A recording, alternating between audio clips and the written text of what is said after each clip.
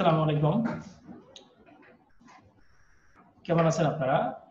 আশা করি সবাই ভালো আছেন এবং আপনারা সুস্থ থেকে জেনেসিসের সাথে শুরু থেকে শেষ পর্যন্ত থাকবেন, সেই আশায় রাখতেছি। আজকে আপনাদের clinical faculty first class first solve class principle of surgery one তো আশা করি আপনারা অনেকেই এই পরীক্ষা দিয়েছেন। অনেকে মানে আমি ধরে নেব সবাই পরীক্ষাটা দিয়েছেন। তো এই পরীক্ষাটা আপনাদের জন্য খুবই খুবই গুরুত্বপূর্ণ। যে কোনো ফ্যাকাল্টি সার্জারির যে কোনো ব্রাঞ্চের ক্ষেত্রেই প্রিন্সিপাল অফ সার্জারিটা সবার জন্য খুবই গুরুত্বপূর্ণ। এই প্রিন্সিপাল অফ সার্জারিটা সবাইকেই জানতে হবে এবং প্রিন্সিপাল অফ সার্জারিটা আপনাদের সবাইকেই জানা উচিত এবং এটা সম্পর্কে একটা ভালো আইডিয়া থাকা উচিত। তো এই জন্য আমাদের প্রিন্সিপাল অফ সার্জারিটা যেটা খেয়াল রাখতে হবে সেটা যেটা ভাস্ট একটা যেটা বেরিয়ে প্রায় চারশো ষাট পৃষ্ঠা পর্যন্ত হচ্ছে প্রিন্সিপাল অফ সার্জারি তো এটা অনেক বড় হওয়ার কারণে আজকে আপনাদেরকে এটা অর্ধেক অর্ধেক করে নেওয়া হচ্ছে। এখানে কিছু পোর্শন আছে আবার প্রিন্সিপাল অফ সার্জারি টুতে কিছু পোর্শন আছে। তো একটা জিনিস খেয়াল রাখতে হবে, সেটা হচ্ছে যে আমাদের বেরিলা বেরিলাভ পড়া শুরু করার আগে যেটা খেয়াল রাখতে হবে, সেটা হচ্ছে যে বেরিলাভে কিন্তু সবগুলা টপিকস আমাদের জন্য খুব বেশি ইম্পর্টেন্ট আবার কিছু কিছু টপিকস আমাদের জন্য খুব ইম্পর্টেন্ট যেমন ডেভিডসন মেডিসিনের ক্ষেত্রে ডেভিডসন যেমন প্রত্যেকটা লাইনই গুরুত্বপূর্ণ এবং একদম মোটামুটি একটা রেফারেন্স বুক বা মনে করা হয় যে, যা আছে সব ইম্পর্টেন্ট কিন্তু বেরিলামের ক্ষেত্রে এরকম যদি আপনি সব পড়তে যান, তাহলে কিন্তু আপনার কিছুই মনে থাকবে না। আলটিমেটলি পরীক্ষার জন্য আপনি লাভবান হবেন না এবং আপনি যে এত কষ্ট করে পড়ছেন, সেটা কিন্তু কোনো কাজে আসবে না। আমাদেরকে যেটা করতে হবে যে বেরিলামটাকে হচ্ছে যে মূল বেসিকের সাথে সমন্বয় করতে হবে, ঠিক আছে? এবং সেই জিনিসগুলো একটু খুঁজে খুঁজে বের করতে হবে। সাপোজ ধরেন আপনি স্টমাক পড়ে ফেলছেন অ্যানাটমিতে তাহলে স্টমাকের যে স্টমাকের যে বেরিলামে যে স্টমাকের যে অ্যানাটমিতে কিছু নতুন কোনো ইনফরমেশন আছে কিনা, এটা আপনাকে খুঁজে বের করতে হবে। বা- ক্লিনিক্যাল কোনো ইনফরমেশন আছে কিনা? বা সাপোজ ধরেন স্টমাকের ফিজিওলজির ক্ষেত্রে কোনো ক্লিনিক্যাল কোনো পয়েন্ট বেরিলামে দেওয়া আছে কিনা? তারপর হচ্ছে স্টমাকের যখন আমরা কার্সিনামা হবে বা একটা অপারেশন করব আমরা। গ্যাস্ট্রেক্টমি অপারেশন করব, সেই সময় আমরা কোন লিগামেন্ট কাটি, কি না কাটি, এই বিষয়গুলো আর কি। তো এই এরকম বিষয় আর কি, যে আপনাদেরকে যে মূল জিনিস মূল পড়ার সাথে বেরিলামকে সমন্বয় করতে হবে এবং ঠিক যতটুকু লাগবে, ততটুকু করতে হবে। এর বাইরে বেশি কিছু করতে গেলে আপনার কিছুই মনে থাকবে না আর কি। ঠিক আছে? তো আমি যেটা বলব, সেটা হচ্ছে আপনারা বেরিলামটা খুবই শর্টকাট করবেন মানে খুবই মানে সিলেক্টিভ পড়াশোনা করবেন এবং এটা বারবার রিভাইজ করতে হবে। আপনার বেরিলামের পড়াগুলো এমন যে আপনি যদি এটাকে বারবার যদি না পড়েন তাহলে কিন্তু মনে থাকবে না।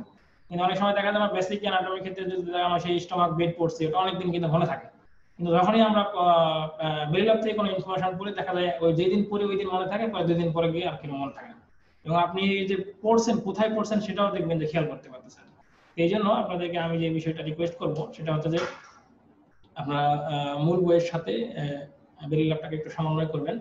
আর হচ্ছে যে আপনাদেরকে আরেকটা বিষয় একটু হাইলাইট করব, সেটা হচ্ছে যে আমাদের প্রিন্সিপাল অফ সার্জারি এবং বাকি যে সার্জারি আছে বেরিলামে সেইগুলোর সাথে কিন্তু পার্থক্য আছে। প্রিন্সিপাল অফ সার্জারিতে হচ্ছে যে মোটামুটি একটু পড়তে হবে, একটু ডিটেলস পড়তে হবে। যেমন প্রথম যে তিনটা চ্যাপ্টার আছে shock blood transmission metabolic response to injury tropical infection ঠিক আছে? এইগুলো আবার কিন্তু ভেরি ভেরি ইম্পর্টেন্ট এবং এগুলো হচ্ছে একটু সিলেক্টিভ না পড়ে একটু ডিটেল ডিটেলস পড়তে হবে আপনাকে, একটু ভিতরে ভিতরে সবগুলো পড়তে হবে। আবার যখন আপনি জিআইটি পড়তে যাবেন, যখন আপনি হচ্ছে যে জেনিটা ইউরিনারি পড়তে যাবেন বা অন্য কোনো সিস্টেম পড়তে যাবেন, সেগুলোর ক্ষেত্রে কিন্তু আপনার কিন্তু পড়াটা কিন্তু সিলেক্টিভ এই জন্য যেটা আমি বলতে চাচ্ছি, সেটা হচ্ছে যে আপনারা এই বিষয়টা মাথায় রাখবেন যে প্রিন্সিপাল অফ সার্জারিটা আপনাকে একটু ভালো করে পড়তে হবে ডিটেলস পড়তে হবে। আর হচ্ছে যে বাকি যখন সিস্টেমিক করবেন, তখন একটু সিলেক্টিভ করা হবে। আর আরেকটা বিষয় একটু আপনাদের রিকোয়েস্ট করব, সেটা যেহেতু আজকে আপনাদের ক্লিনিক্যাল প্রথম সলভ ক্লাস তো এই জন্যই আমি একটু কথা বলতেছি। সেটা হচ্ছে যে আরেকটা বিষয়, সেটা হলো যে আপনারা পরীক্ষাগুলো নিয়মিত অ্যাটেন্ড করবেন। ঠিক আছে? পরীক্ষাগুলো যদি অ্যাটেন্ড না করেন তাহলে আপনার যেটা হবে যে আমরা দেখছি যে আমাদের অনেক অনেক ডক্টররা আছেন যারা অনেক বেসিক প্রিপারেশন খুবই ভালো বেসিক নলেজ অনেক ভালো অনেক ভালো প্রিপারেশন নিয়েছেন, কিন্তু পরীক্ষা হলে গিয়ে দেখা যায় যে পরীক্ষা আনসারগুলো সঠিকভাবে করতে পারেন না বা হেজিটেশন ফিল করেন। এর একটাই কারণ হচ্ছে যে উনি হয়তো কোশ্চেন বেশি সলভ করে নাই বা পরীক্ষায় বেশি অ্যাটেন্ড করে নাই। এই জন্য আপনারা একটু খেয়াল রাখবেন যে যাতে পরীক্ষায় যাতে সবগুলো পরীক্ষা অ্যাটেন্ড চান্স পাওয়ার জন্য এফসিএস পার্ট ওয়ান পাস করার জন্য যেমন যেমন আমরা যদি এটাকে একশো পার্সেন্ট ভাগ করি, তাহলে পঞ্চাশ পার্সেন্ট হচ্ছে নির্ভর করতেছে আপনার বেসিক ক্লিয়ারের উপরে, আর পঞ্চাশ পার্সেন্ট আপনার নির্ভর করতেছে আপনি কোশ্চেন সলভ করতেছেন কতটুকু, ঠিক আছে? এই কোশ্চেন যদি আপনি প্র্যাকটিস না করেন কোশ্চেনের সাথে যদি ওরিয়েন্টেড না থাকেন, তাহলে সেক্ষেত্রে কিন্তু আপনার অনেক প্রিপারেশন থাকা সত্ত্বেও আপনি হয়তো পরীক্ষা অনেকে আনসার করতে পারবেন না। এই জন্য আমি আপনাদেরকে রিকোয়েস্ট করব, আপনারা যতগুলো পরীক্ষা হবে আমাদের ক্লিনিক্যাল সাবজেক্টে এই সবগুলো পরীক্ষাগুলো অ্যাটেন্ড করবেন। এবং আরেকটা বিষয় একটু রিকোয়েস্ট করব আপনাদেরকে, এই সলভ ক্লাসগুলো অবশ্যই করবেন। কারণ সলভ ক্লাসগুলো আপনার করলে যেটা হবে, সেটা হচ্ছে যে সলভ ক্লাসে শুধু একদম এক্সাম ওরিয়েন্টেড একদম কোশ্চেন ওরিয়েন্টেড কথাবার্তা বলা হয়। ধরেন একটা কোশ্চেন আমরা যখন প্র্যাকটিস করব, তখন আমরা আলোচনা করব, সেখানে হয়তো তিনটা ট্রু থাকবে দুটা ফলস থাকবে। তাহলে তিনটা ট্রু কেন ট্রু এটা বলে দেওয়া হয় দুইটা ফলস কেন ফলস এই জিনিসটা কিন্তু আমরা বলে দিই। তার মানে কি? বা রেফারেন্স সহ বলার চেষ্টা করি অনেক সময়। তাহলে যেটা হবে যে আপনি যখন নিজে নিজে জিনিসগুলো সলভ করতে যাবেন, আপনার অনেক সময় সাপেক্ষ লাগবে। দেখা যাবে একটা জিনিস আপনার সলভ করতে হয়তো পঞ্চাশ, তিরিশটা কোশ্চেন সলভ করতে আপনার হয়তো দুই ঘণ্টা, তিন ঘণ্টা লাগতেছে। কিন্তু আপনি যদি ক্লাসটা একটু দেখেন, তাহলে দেখবেন যে আপনার এক ঘণ্টার মধ্যে সবগুলা কোশ্চেনের আনসার আপনি পেয়ে গেছেন। অথবা এখানে আরেকটা সুযোগ আছে, যেহেতু ক্লাসটা রেকর্ড থাকবে, তো আপনি সেক্ষেত্রে কিন্তু আপনার যেই কোশ্চেনের প্রবলেম সেই কোশ্চেনে গিয়ে, সেই কোশ্চেনটাও আপনি সরাসরি সলভ করে নিতে পারতেছেন। ধরেন আপনার বিশ থেকে পঁচিশ নম্বর কোশ্চেনের সমস্যা, সরাসরি আপনি ওইখানে গিয়ে ওই বিশ থেকে পঁচিশ নম্বরের ভিডিওটা দেখে নিলেন। তাহলে এইভাবে কিন্তু আপনি আপনার প্রস্তুতিটাকে সহজ করতে পারলেন এবং সময়টা সেভ করতে পারলেন, ঠিক আছে? আর আরেকটা বিষয় একটু খেয়াল রাখবেন, সেটা হচ্ছে যে আপনাদের আপনাদের যে যে কোশ্চেনগুলো থাকবে, সেই কোশ্চেনগুলো যাতে আপনারা এখানে আমরা কিছু এমসিকিউ কোশ্চেন দিয়েছি, কিছু এসবিএ কোশ্চেন দিয়েছি। তো এমসিকিউ কোশ্চেনের ক্ষেত্রে এখানে ট্রু ফলস থাকবে আর এসবিএ কোশ্চেনের ক্ষেত্রে একটা সিঙ্গেল বেস্ট আনসার তো একটু খেয়াল রাখতে হবে যে এমসিকিউ আর এসবিএ দুটাই কিন্তু ভিন্ন রকম। আর আপনার কোশ্চেন পরীক্ষা যেটাই বলেন না কেন, আপনারা হচ্ছে যে কোশ্চেনটা একদম ভালো করে সলভ করার চেষ্টা করবেন, যে কোশ্চেনটা পাবেন সামনে। তাহলে যেটা হবে যে, অর্থাৎ আপনার সলভ ক্লাস বা পরীক্ষা দেওয়ার উদ্দেশ্য একটাই থাকবে যে কোশ্চেনগুলো একদম ভালো মতো করে জানা সোর্স সহ কোন জায়গা থেকে আসছে। তাহলে যেটা হবে যে আপনি যদি করি মানে আপনার টার্গেট থাকবে যে একটা কোশ্চেনে যদি তিনটা ট্রু থাকে, সেই তিনটা ট্রু কেন ট্রু ঠিক আছে? এই তিনটা ট্রু কেন ট্রু আপনি জানেন কিনা বা আপনার জানার মধ্যে আছে কিনা বা জিনিসটা বইয়ে আছে কিনা? এই জিনিসটা একটু শেয়ার করতে হবে। আর দুইটা কোশ্চেন হাজার একটা কোশ্চেনে তিনটা ট্রু দুইটা ফলস তাহলে দুইটা ফলস এটা ট্রু আনসারটা কি আপনি? এটা আপনি জেনে নিতে হবে। সলভ ক্লাস থেকে অথবা আপনার পরীক্ষার মাধ্যমে। তাহলে তখনই আপনার সলভ ক্লাস তারপরে তখনই আপনার এক্সাম এবং তখন আপনার প্রিপারেশনটা বা পড়া ইফেক্টিভ হবে বা ফলশ্রুতি হবে। আছে এই জন্য আমি যেটা বলব, আপনারা যে কোনো কোশ্চেন সলভ করার সময় এই জিনিসটা খেয়াল রাখবেন, যেটা ট্রু কেন ট্রু যেটা ফলস কেন ফলস এটা ট্রু আনসার কি, এটা জেনে নিতে চেষ্টা করবেন। আর আরেকটা লাস্ট যেটা বলব, সেটা হচ্ছে যে আমাদের অনেক সময় দেখা যায় যে আমাদের ক্লিনিক্যাল গুলোতে আমাদের একটু অনীহা থাকে, পড়ার ক্ষেত্রে বা পরীক্ষা দেওয়ার ক্ষেত্রে একটা অনীহা থাকে। তারপরে হচ্ছে যে আমরা মনে করি যে প্রিপারেশন নিতে পারি না বেরিলামের সেই এত বড় একটা চ্যাপ্টার কীভাবে করব শেষ করব? এই জন্য পড়তে পারি না পরীক্ষা দিব না। এরকম কিন্তু অনেকের টেন্ডেন্সি থাকে। আমি আপনাদেরকে রিকোয়েস্ট করব যে আপনার প্রিপারেশন যদি কম হয় সাপোজ আপনি তিন ভাগের দুই ভাগ পড়ছেন আর এক ভাগ পড়া বাকি আছে, সমস্যা নেই, আপনি বাকি থাকুন, তারপর পরীক্ষাটা দিয়ে ফেলবেন। পরীক্ষা দিলে যেটা হবে, সেটা হচ্ছে যে আপনার এখানে পরীক্ষার মানে আপনি কোশ্চেনটা সম্পর্কে একটা আইডিয়া পাইলেন এবং আমরা মোটামুটি ওই জায়গাগুলো থেকে কোশ্চেন সিলেক্ট করি, যে জায়গাগুলো থেকে কোশ্চেন আসার মতো। ঠিক আছে? তাহলে আপনার যেটা হলো যে আপনি কোশ্চেনটা পরীক্ষা দিলে তখন হয়তো আপনার লাস্ট হয়তো এক ভাগ পড়া ছিল না, ওই এক ভাগ থেকে কি কোশ্চেন আসছে? জাস্ট আপনি কোশ্চেনটা দেখে নিতে গেলে কিন্তু আপনার ওই পড়াটা হয়ে গেল একসাথে। এই জন্য আমি বলব যে আপনারা অবশ্যই অবশ্যই প্রিপারেশন যদি একটু কমও থাকে বা একটু কম যদি মনে হচ্ছে আমরা তুলনামূলক কম পড়া আছে, তারপর পরীক্ষাগুলো দিয়ে ফেলব ঠিক আছে? তাহলে আমরা অনেকগুলো কথা বলে ফেললাম। এগুলোর সামারি একটাই, সেটা হচ্ছে যে আপনারা বেলি একটু কনসাইজ করে বলবেন বেসিকের সাথে। প্রিন্সিপাল অফ সার্জারির ক্ষেত্রে হচ্ছে যে প্রিন্সিপাল অফ সার্জারির ক্ষেত্রে শুধু একটু ডিটেলস পড়ার চেষ্টা করবেন। আর হচ্ছে যে সিস্টেমিকগুলো হয়তো সিলেক্টিভ করবেন। তারপর দুই নম্বর বলছি যে, আপনারা যে পরীক্ষাগুলো নিয়মিত চেষ্টা করবেন এখন করার প্রিপারেশন যদি একটু কম থাকে তারপর। তিন নম্বর বলছিলাম যে সলভ ক্লাস করার ক্ষেত্রে আপনাদের খেয়াল রাখতে হবে যে, বা এক্সাম দেওয়ার সময় খেয়াল রাখতে হবে যেটা ট্রু কেন ট্রু যেটা ফলস কেন ফলস সেটা ট্রু আনসার কি। ঠিক আছে? এই বিষয়গুলো একটু খেয়াল রাখবেন। এই বিষয়গুলো একটু খেয়াল রেখে প্রিপারেশন নেবেন। ইনশাআল্লাহ আপনারা অনেক ভালো করতে পারবেন। তো ঠিক আছে, আমরা আজকে আমাদের ক্লাস শুরু করতে যাচ্ছি। আমাদের যে মূল topics principle of surgery one আমি আসলে এতক্ষণ পরিচয় দিই নাই পরিচয় আপনারা স্লাইডে দেখতেছেন। আমি doctor Mohammad Ashraf Hossain Chattogram medical college থেকে আমি এমবিবিএস পাস করেছি আর এফসিবিএস পার্ট ওয়ান সার্জারিতে পাস করেছি জুলাই দুই হাজার উনিশ সালে। তো আজকে আপনাদের সাথে আমি প্রিন্সিপাল অফ সার্জারি ওয়ান নিয়ে আসছি। তো প্রিন্সিপাল অফ সার্জারি ওয়ান বললাম আমি তো একটু আগে যে প্রিন্সিপাল অফ সার্জারিটা অনেক বড়, এই জন্য এটাকে ভাগ করা হয়েছে দুই অংশে। তো আপনারা আবার আপনাদের রুটিনে নির্দিষ্ট করে দেওয়া আছে যে কোন কোন টপিকস থেকে আজকের পরীক্ষাটা হবে বা কোন কোন টপিকস এর উপর আপনারা লেকচার অবশ্যই করেছেন এবং একটা পরীক্ষাও দিয়েছেন। তো আজকে আমরা আমাদের যে মূল কোশ্চেন সেটাতে আমরা চলে যাচ্ছি। তাহলে আমাদের ফার্স্ট যে কোশ্চেন ছিল যে রিগার্ডিং ভ্যাক ভ্যাক মানে আমরা সবাই জানি ভ্যাকুয়াম অ্যাসিস্ট্যান্ট ক্লোজার ঠিক আছে? এটা একটা ড্রেসিং সিস্টেম এটা আমরা খুবই কমনলি ইউজ করি ওয়ার্ডে তো এখানে আমরা অপশনগুলো একটু পড়ে নিই। যে ইউজেস এই নম্বর অপশনে দেওয়া আছে uses minus hundred millimetre mercury negative pressure negative pressure created by gravity force, removing interstitial fluid, decrease granulation tissue load, used in non-healing ulcer management. তাহলে আমরা যেটা বলছিলাম আপনাদেরকে যে এই কোশ্চেনটা নেওয়া হয়েছে বেরি ল্যাবে টোয়েন্টি সেভেন এডিশন তিরিশ পেজ থেকে। তাহলে আমাদের কিন্তু খেয়াল রাখতে হবে যে আমাদের আমি আপনাদেরকে বলছি যে একটা কোশ্চেনে যদি আপনারা ট্রু পান, তাহলে সেটা কেন ট্রু সেটা বইয়ে আছে কিনা, এই জিনিসটা জানা বা আপনি জানেন কিনা, আর যেটা ফল সেটা ট্রু আনসার কি এটা আমাদের জেনে নিতে হবে তাহলে দেখেন এখানে যে প্রথম যে অপশনটা দেওয়া আছে, এটা ফলস হয়ে গেছে। কেন কি? কারণ জন্য এখানে প্রেসারটা হচ্ছে যে প্রেসার হচ্ছে যে আমাদের 125 মাইনাস 125 মিলিমিটার মার্কারি আপনি নেগেটিভ প্রেসার ঠিক আছে? 100 দেওয়া আছে, এই জন্য এই আনসারটা ফলস তারপর হচ্ছে negative pressure created by gravity force false gravity force দ্বারা নেগেটিভ প্রেসার হয় না। এটা হচ্ছে যে আপনার নেগেটিভ প্রেসার হচ্ছে যে আমরা ওই যে ওইখানেই তৈরি করি, মন্দিরের ওইখানে একটা নেগেটিভ প্রেসার তৈরি হয়। এবং এটা হচ্ছে যে একটা ভ্যাকুয়াম একটা জারের মতো করে থাকে, সেখান থেকে নেগেটিভ প্রেসার তৈরি হয়। তারপর হচ্ছে যে removing of industrial fluid C হ্যাঁ এটা ট্রু যে আমরা জানি যে এই ভিতর থেকে ইন্ডাস্ট্রিয়াল ফ্লুইড ইডিমাটা সাবসাইড করার জন্য তারপরে ওখানে কোনো ডেব্রাইডমেন্ট থাকলে কালেকশন থাকলে সবগুলো রিমুভ করার জন্য মূলত আমাদের এই ভ্যাকটা করা হয়। তো D number decreasing granulation tissue load হ্যাঁ? ফলস আমরা গ্রানুলেশন টিস্যুটা বাড়ানোর জন্যই কিন্তু এটা করতেছি আমরা, যে গ্রানুলেশন টিস্যু যাতে তাড়াতাড়ি আসে।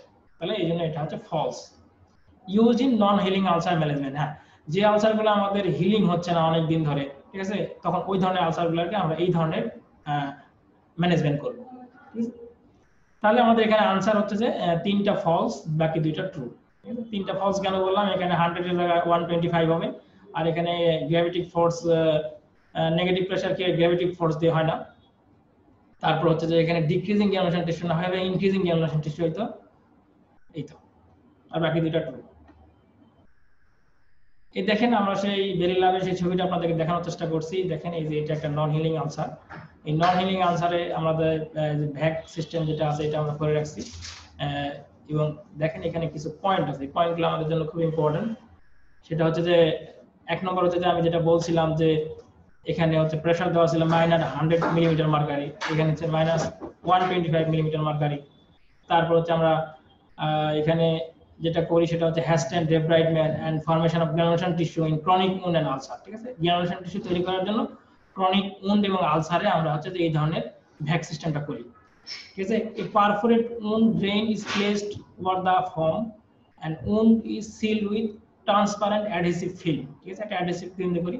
A vacuum is then applied to the drain একটা ড্রেনে আমরা এটা অ্যাপ্লাই করি।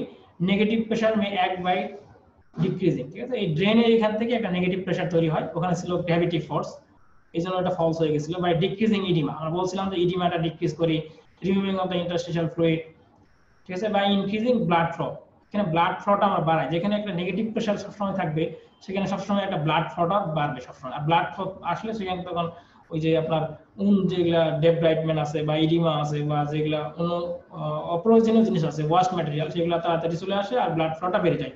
As a result, bacterial content decrease এই দেখেন ব্যাকটেরিয়াল কন্টেন্ট decrease হয় সেল proliferation increase হয়।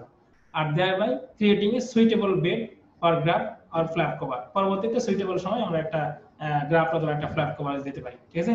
এই ধরনের ভ্যাক সাধারণত আমরা চার থেকে সাত দিন পর পর ড্রেসিং করলে হয় রেগুলার ড্রেসিং করার দরকার হয় না। তাহলে দেখেন, এখানে সবগুলো কথা ইম্পর্টেন্ট এবং এই টপিকসটা আপনাদের জন্য ভেরি ভেরি ইম্পর্টেন্ট কারণ একটা ওয়ার্ডে আমরা নিয়মিত এই এই ধরনের ভ্যাক প্রসিডিউর আমরা করি। তাহলে যেহেতু এটা একটা প্রিন্সিপাল অফ সার্জারি রিলেটেড করা, যেহেতু এই ড্রেসিং আমরা সব জায়গায় করবোই ড্রেসিং সব জায়গায় করতেই হয়, এরকম নন হিলিং আলসার আমরা অনেক জায়গায় পাবোই তাহলে আপনাদের জন্য এই টপিকসটা ভেরি ভেরি ইম্পর্টেন্ট এই জন্য এই টপিক থেকে একটা কোশ্চেন সিলেক্ট করা হয়েছে।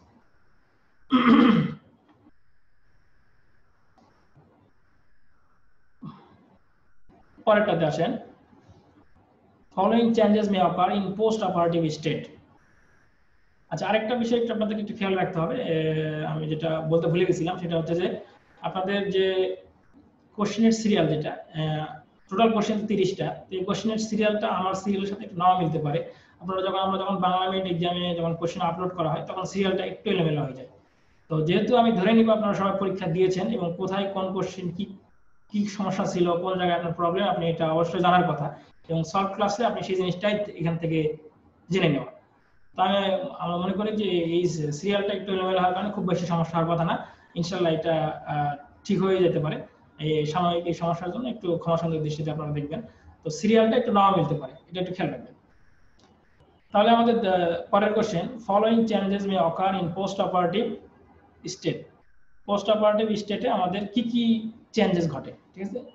তাহলে এখানে এ নম্বর আছে ketone body production B number আছে ইনসুলিন রেজিস্ট্যান্স সি নম্বর আছে হাইপার অ্যানাবলিজম ডি নম্বর আছে পাইরেক্সিয়া ই নম্বর আছে ফুটাইল সাবস্টেন্স সাইক্লিং ঠিক আছে? তাহলে এই নাম্বার কিটন বডি প্রোডাকশন হ্যাঁ পোস্ট অপারেটিভ স্টেটে কিটন বডি প্রোডাকশন হয় না, ঠিক আছে? এটা ফলস ইনসুলিন রেজিস্ট্যান্স ডেভেলপ করে হ্যাঁ আমরা জানি যে পোস্ট অপারেটিভের পরে একটা ইনসুলিন রেজিস্ট্যান্স ডেভেলপ করতে পারে। তারপর সি নাম্বার হাইপার অ্যানাবলিজম এখানে হাইপার অ্যানাবলিজম হয় হাইপার ক্যাটাবলিজম হবে। ঠিক আছে? তারপর ডি নম্বর পাইরেক্সিয়া এখানে একটা পাইরেক্সিয়া ডেভেলপ করবে। ট্রু এই জন্য এটা। E number futile substance cycling অর্থাৎ আমাদের যে সাবস্টেট আছে যেটা ওয়াশ প্রোডাক্ট আছে, সেগুলো সাইক্লিং হয়, ঠিক আছে? তার মানে এটা ট্রু তাহলে আমাদের এখানে আনসার হচ্ছে দুইটা ফলস কিটন বডি প্রোডাকশন এটা হবে না, আর হাইপার অ্যানাবলিজম হবে হাইপার ক্যাটাবলিজম হবে, বাকি সবগুলাই ট্রু দেখেন, এটা সেই বেরিলামের বিখ্যাত ছবি পৃষ্ঠ নম্বর চারে এটা দেওয়া আছে, যে এই ছবিতেই সবকিছু দেওয়া আছে, যে একটা মেজর সার্জারির পরে, একটা মেজর সার্জারির পরে সাধারণত কি কি ধরনের চেঞ্জ হয়, ঠিক আছে? কি কি ধরনের চেঞ্জ হয়? এখানে কয়েকটা জিনিস চেঞ্জ হয়। একটা হচ্ছে যে, প্রথমে হরমোনের কোন হরমোন বাড়ে, কোন হরমোন কমে, এই জিনিসটা অনেকটা মনে রাখতে হবে আমাদেরকে। একটু খেয়াল রাখেন, আমাদের যতগুলা ইম্পর্টেন্ট হরমোন আছে হাইপোথ্যালামাস থেকে পিউটারি থেকে অ্যাড্রিনাল গ্ল্যান্ড থেকে, তারপর আপনার প্যানক্রিয়াস থেকে, তারপর আপনার হচ্ছে যে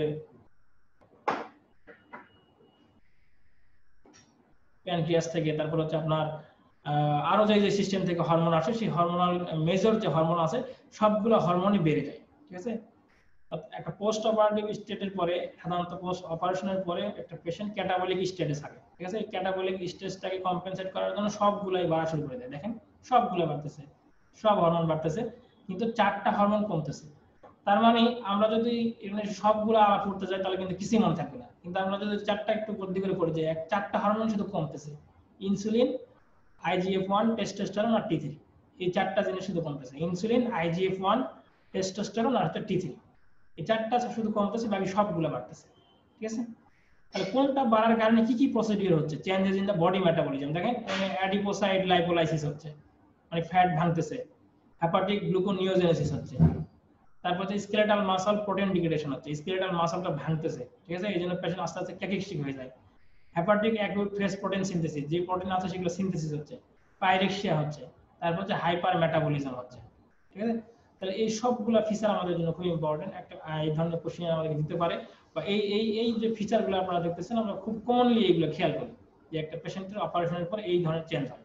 এই জন্য অপারেশনের পরে একটা পেশেন্টের মেইন ম্যানেজমেন্ট কিন্তু হচ্ছে নিউট্রিশন এবং ফ্লুইড নিউট্রিশন ম্যানেজমেন্ট ঠিক আছে? তার যদি ফ্লুইড নিউট্রিশন ম্যানেজমেন্টে যদি একটু এদিক সেদিক হয়, তাহলে পেশেন্ট কিন্তু যে কোনো সময় খারাপ হয়ে যায়। এই জন্য আমাদেরকে এই জিনিসগুলো খেয়াল রাখতে হবে এবং এই অনুযায়ী আমাদেরকে সাপ্লিমেন্ট দিতে হবে। তারপর দেখেন এখানে কি কি ঘটনা ঘটে? যে একটা পেশেন্টের যদি ইমোবাইলাইজেশনে থাকে বা পোস্ট অপারেটিভ স্টেটে যে ঘটনা ঘটে ঘটে। দেখেন, সেখানে যে পাইরেক্সিয়া হচ্ছে অ্যাকিউট ফেজ রেসপন্স হচ্ছে ইনসুলিন রেজিস্ট্যান্স ডেভেলপ করতেছে, তারপর হচ্ছে যে ফুটাইল সাবস্টেন্স সাইক্লিং হচ্ছে মাসল প্রোটিন ডিগ্রেডেশন হচ্ছে তাহলে এই পেশেন্টের উম থাকে হাইপোথার্মিয়া থাকে হাইপোটেনশন ডেভেলপ করতে পারে পেইন হয়, ঠিক আছে? তখন এই যে অ্যাড্রেনাল সিম্প্যাথেটিক অ্যাক্টিভেশন হয়, আর এদিকে সাইটোকাইন ক্যাসকেড রিলিজ হয়। রিলিজ হয়, এই এই পাঁচটা ঘটনা ঘটে। একটা পেশেন্টের পাইরেক্সিয়া ডেভেলপ করতে পারে অ্যাকিউট ফেজ রেসপন্স হবে তার ইনসুলিন রেজিস্ট্যান্ট ডেভেলপ করবে। এই ইনসুলিন রেজিস্ট্যান্ট সাধারণত টু উইকের মধ্যে ডেভেলপ করে। Futile substance cycling muscle protein degradation ঠিক আছে? তাহলে নিচে দেওয়া দেখেন factor that exaggerate the metabolic response to surgical injury hypothermia uncontrol pain starvation immobilisation sepsis and medical complication others medical complication তা ডেভেলপ করতে পারে। তাহলে এই দুইটা বক্স আপনাদের জন্য ভেরি ভেরি ইম্পর্টেন্ট এখান থেকে যে কোনো সময় কোশ্চেন আসতে পারে। এটা হচ্ছে সবচেয়ে বেশি ইম্পর্টেন্ট যে এখানে মেজর যে হরমোনাল চেঞ্জ হয়, কি কি ঘটনা ঘটে।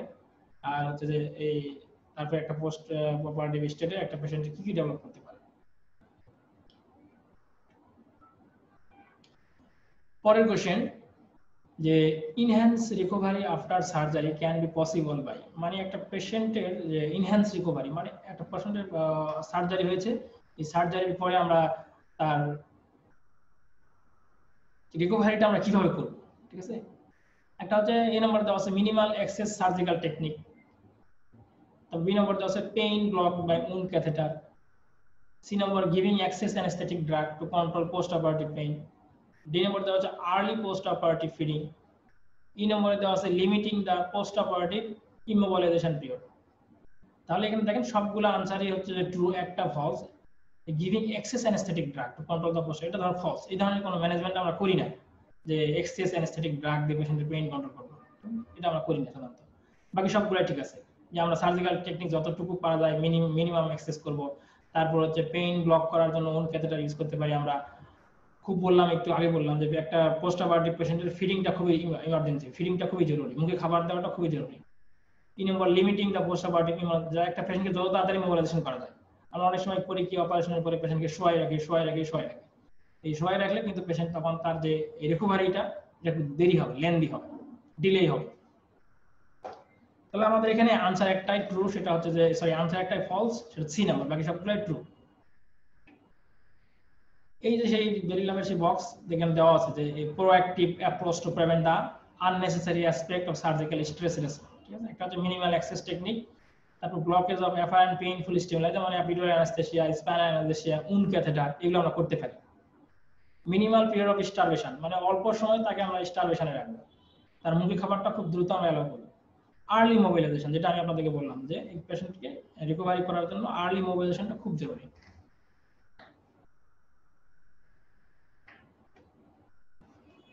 পরের কোশ্চেন আমাদের distributive shock distributive shock is characterise by তাহলে এ নম্বরে আছে ভাস্কুলার ডাইলেটেশন বি নম্বরে আছে হাইপোটেনশন সি নম্বরে দেওয়া আছে high systemic vascular resistance D নম্বরে দেওয়া আছে increase vascular tone in neurogenic type E নম্বরে দেওয়া আছে arterio venous shunting in microvascular level তাহলে আমাদের শক কয়েক ধরনের আছে, একটা হচ্ছে hypovolemic shock distributive shock obstructive shock cardiogenic shock ঠিক আছে? তাহলে আমরা এখানে আলোচনা করতেছি ডিস্ট্রিবিউটিভ শক ডিস্ট্রিবিউটিভ শকে আমাদের যেটা হয় যে এই যে সেপটিক শক যেটা আর কি মেইনলি এই সেপটিক শকে যেটা হয় আমাদের যে ভাস্কুলার ডাইলেটেশন হয় এখানে এক নম্বরে ট্রু এখানে হাইপোটেনশন থাকবে, এটাও ট্রু থ্রি নম্বর এখানে দেওয়া আছে হাই সিস্টেমিক ভাস্কুলার রেজিস্ট্যান্স এখানে হাই জায়গায় হবে লো সিস্টেমিক ভাস্কুলার রেজিস্ট্যান্স ঠিক আছে? তারপর ডি নম্বর হচ্ছে increase vascular tone in neurogenic type হ্যাঁ এখানে ভাস্কুলার টোনটা বাড়তে পারে নিউরোজেনিক টাইপে যেমন স্পাইনাল শকটাও হচ্ছে ডিস্ট্রিবিউটিভ শক তাহলে স্পাইনাল শকের ক্ষেত্রে ভাস্কুলার টোনটা বাড়তে পারে। Artery venous shunting in microvascular level artery venous shunting হইতে পারে মাইক্রোভাস্কুলার লেভেলে ঠিক আছে? তাহলে এখানে আমাদের সবগুলো আনসারই হচ্ছে ট্রু একটাই শুধু ফলস সেটা হচ্ছে সি নম্বর তাহলে সি নম্বর হচ্ছে যে এখানে হাইয়ের জায়গায় ল হবে। তাহলে একটা জিনিস একটু খেয়াল রাখেন, সেটা হচ্ছে যে আমরা আসলে আপনাদেরকে খুব বেশি এখানে আমাদের লেকচারে আপনারা সবগুলা মেকানিজম সহ সবগুলা জিনিসই পড়ছেন আপনারা। আমি জাস্ট ওই জিনিসটা দেখানোর চেষ্টা করতেছি যে কোশ্চেনটা কোন জায়গা থেকে নেওয়া হয়েছে, কীভাবে নেওয়া হয়েছে। এই জিনিসটা আপনাদেরকে দেখানোর চেষ্টা করতেছি। আপনারা এই জিনিসগুলো সব বইয়ে আছে, সব বেরি ল্যাবের রেফারেন্স এবং একদম হুবহু পেজ সহ মিলবে। আপনারা জাস্ট হচ্ছে যে, যেটা আমি যেটা বললাম যে অনেক সময় আমাদের সময় সেভ করার জন্য ঠিক আছে? সময় সেভ করার জন্যই হচ্ছে যে জিনিসটা। আমরা বেরি ল্যাব খুলি একটা দেখতে গিয়ে হয়তো অনেক সময় লেগে যেতে পারে। বা একটা জিনিস কীভাবে হলো এটা অনেক সময় আপনার কোয়ারি থাকতে পারে। এই জন্যই আমি জাস্ট প্রত্যেকটা কোশ্চেনের সাথে সেটা রেফারেন্সটা আপনাদেরকে দেখানোর চেষ্টা করতেছি এবং জিনিসটা বলে দেওয়ার চেষ্টা করতেছি। ঠিক আছে? যেহেতু এটা সলভ ক্লাস এখানে অনেক কিছু এক্সপ্লেনেশন করার এত বেশি খুব বেশি সুযোগ নেই। তারপরও যেটা এক্সপ্লেনেশন করার মতো আছে ওটা আমি ইনশাআল্লাহ আপনাদেরকে এক্সপ্লেনেশন করে দিব।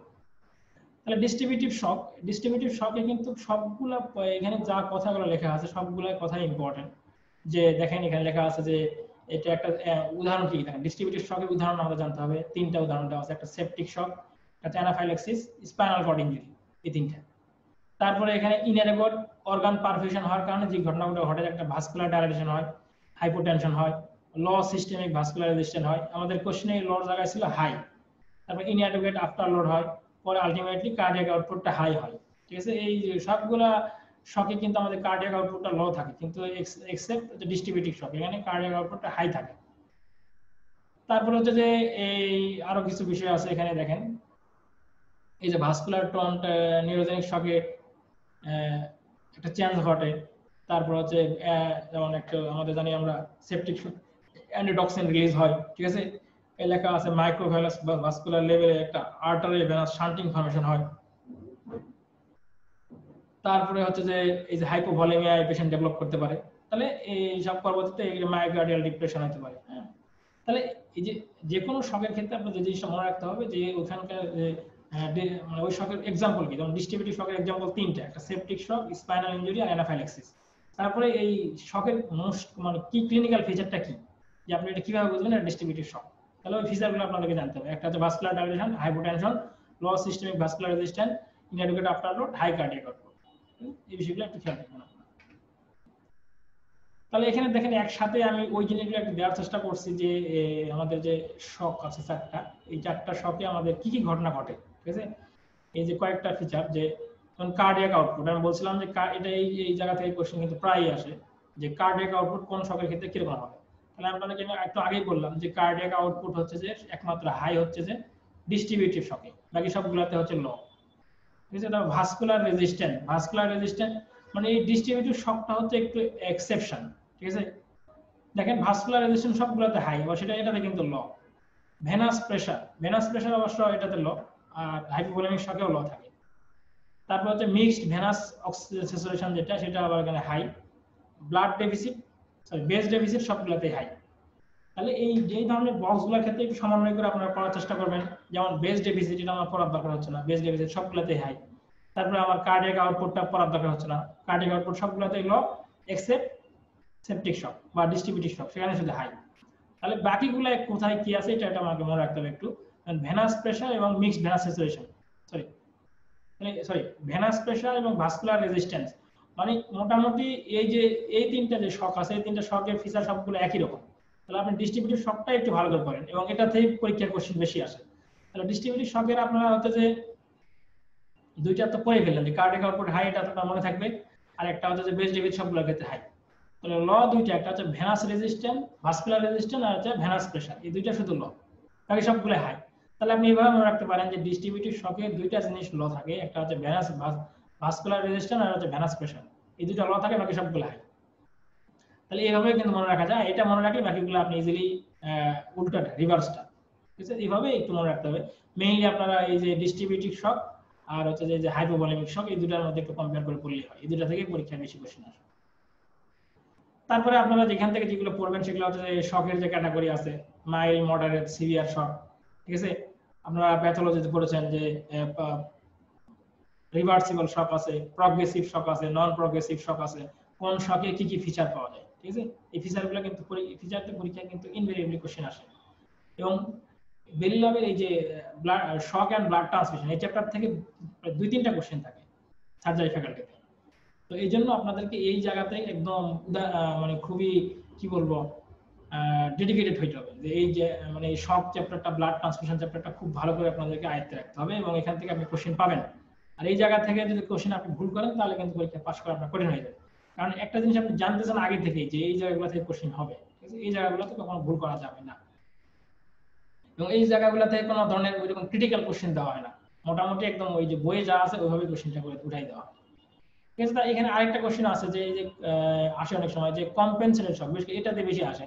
যে কম্পেনসেটেড শকে কি কি ফিচার পাওয়া যায়? কম্পেনসেটেড শকে তাহলে কম্পেনসেটেড শকে সবগুলোই নর্মাল থাকে। কম্পেনসেশন হয়ে গেছে ওখানে। ঠিক আছে? এখানে সবগুলো নর্মাল থাকে, কিন্তু দুটা জিনিস একটু বেশি থাকে। বেশি থাকে নর্মাল থাকে। একটা হচ্ছে ল্যাকটিক অ্যাসিডোসিস এখানে ল্যাকটিক অ্যাসিডোসিস হয়। আর হচ্ছে যে এখানে পালস রেটটা হচ্ছে মাইল্ড ইনক্রিজ তাহলে এই দুইটা পয়েন্ট আপনাকে মনে রাখতে হবে যে কম্পেনসেটেড শকে আমাদের ল্যাকটিক অ্যাসিডোসিস ডেভেলপ করে আর এখানে পালসটা মাইল্ড ইনক্রিজ হয়। ঠিক আছে? তাহলে পরীক্ষায় কিন্তু এই এই এই এই কোশ্চেনটা প্রায়ই আসে যে, এই যে কম্পেনসেটেড শকে কি কি ক্লিনিক্যাল ফিচার পাওয়া যায়। তাহলে এটা একটু আপনারা ভালো করে পড়ে রাখবেন।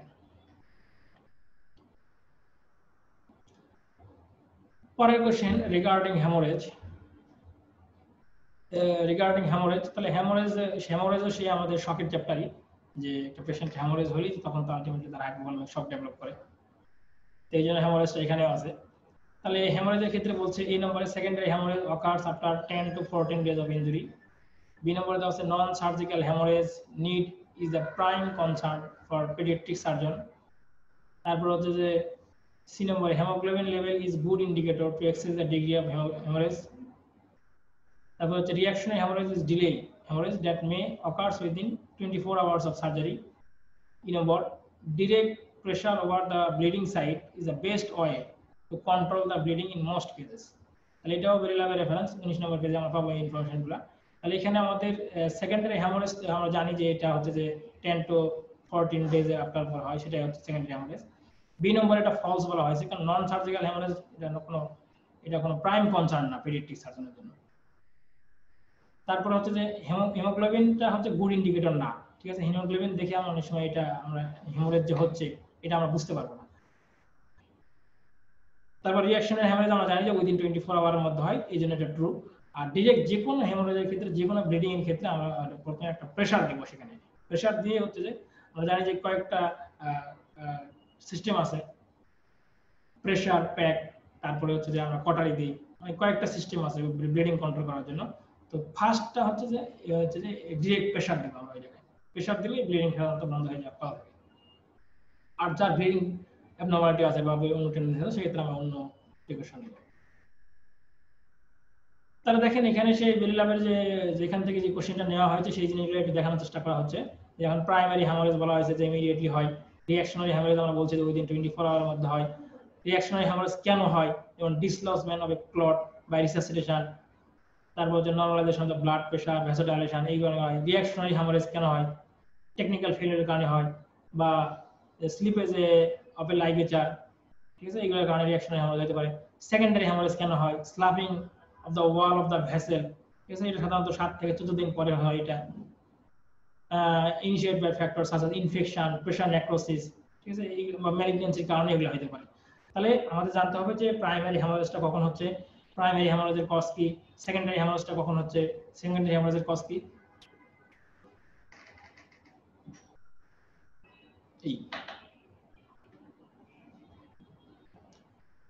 পরে আসেন রিগার্ডিং ব্লাড ট্রান্সফিউশন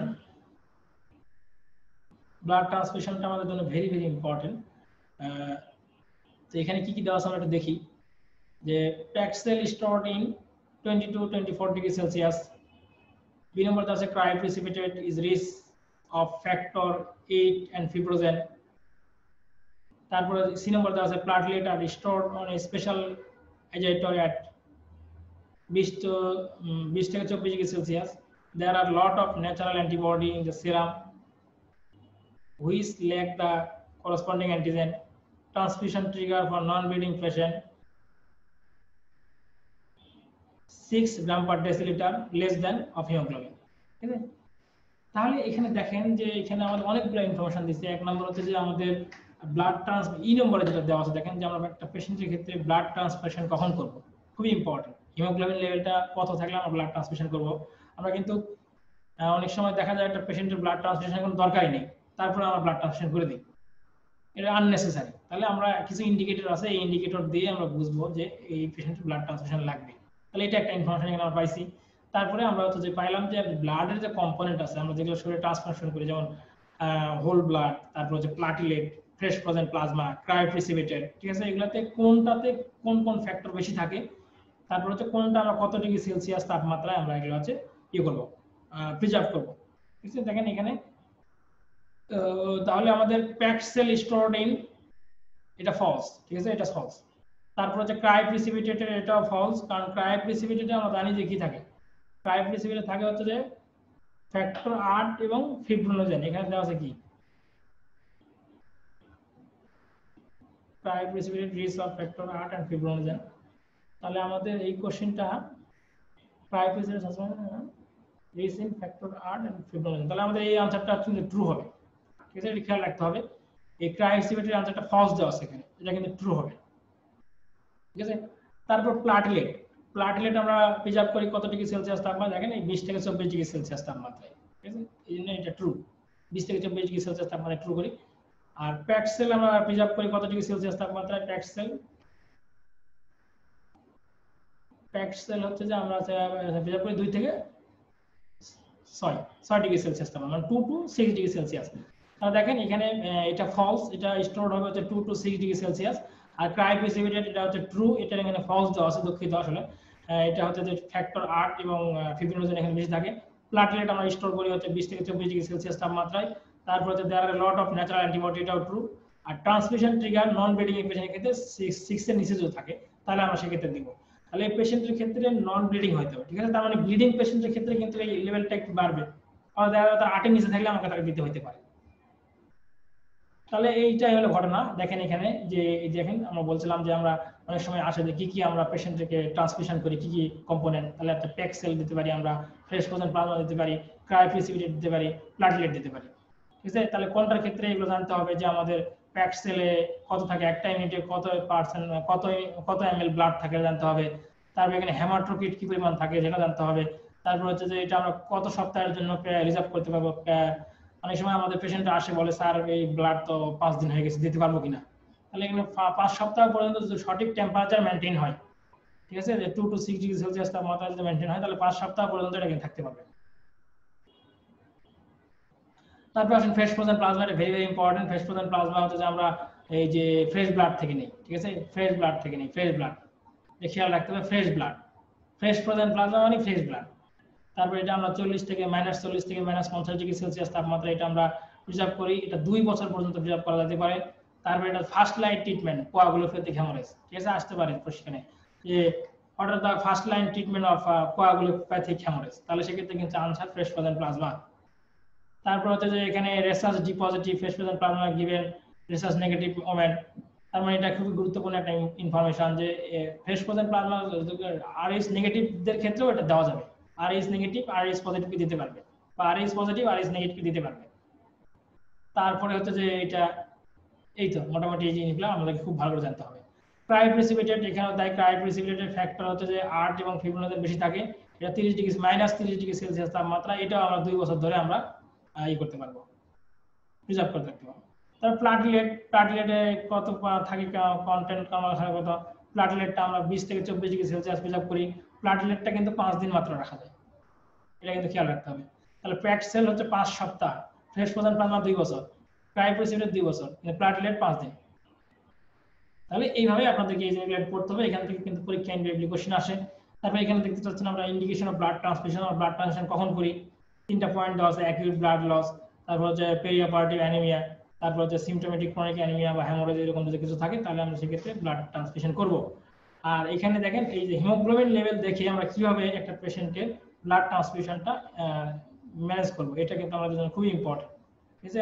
বিশেষ করে আমরা যখন ওয়ার্ডে থাকি, তখন হিমোগ্লোবিন লেভেল দেখে ঠাস করে বলে দেয় রোগী তো হিমোগ্লোবিন কম দিয়ে দিই দেখেন এখানে লিখছে যে সিক্স এর নিচে যদি থাকে, তাহলে এই পেশেন্টের যদি আমরা ব্লাড ট্রান্সফিউশন করি, সে প্রবাবলি বেনিফিট হতে পারে। তারা বলছে প্রবাবলি তারপর six to eight transfusion unlikely কারণ দরকারই নেই। ছয় থেকে হলে দরকারই নেই benefit in in the absence of bleeding or impending surgery মানে বেনিফিট তা মানে যাদের হচ্ছে ব্লিডিং টেন্ডেন্সি আছে বা তাদের সার্জারি একটা হবে বা সার্জারি হ্যাঁ তাদের ক্ষেত্রে কিন্তু আমরা হয়তো ছয় থেকে আটের মধ্যে থাকলে দিতে পারি আর আটের উপরে যদি থাকি কোনো দরকার নেই no indication of transmission in the absence of risk factor হ্যাঁ কারও যদি রিস্ক ফ্যাক্টর থাকে যেমন কারও যদি থ্যালাসেমিয়া থাকে সেই পেশেন্টের ক্ষেত্রে কিন্তু কিন্তু আমাদেরকে দিতে হবে তাহলে আমরা যেটা বুঝলাম যে আমরা অনেক সময় দেখি যে হিমোগ্লোবিন লেভেল হচ্ছে এগারো থেকে ষোলো বা বারো থেকে এত। তখন আমরা দেখি বারো নিচে থাকলে দেওয়া মানে ব্লাড দেওয়ার কথা একদম ইনভেরিয়েবলি দিয়ে দিই অর্ডার কিন্তু এটা কিন্তু না। বলা হচ্ছে যে মানে যে হিমোগ্লোবিনটা কম থাকলে যে সে পেশেন্টকে দিতে হবে এরকম না। যখন হচ্ছে যে এই যে রিস্ক ফ্যাক্টর বা একটা সার্জারি করব আমরা, তখন সেক্ষেত্রে আমরা এগুলো কনসিডার করব। তাহলে এই বক্সটা আপনাদের জন্য ভেরি ভেরি ইম্পর্টেন্ট এরপরে আসেন পরের question systemic inflammatory response syndrome বা সার্স এটা আপনাদের জন্য খুব ইম্পর্টেন্ট একটা কোশ্চেন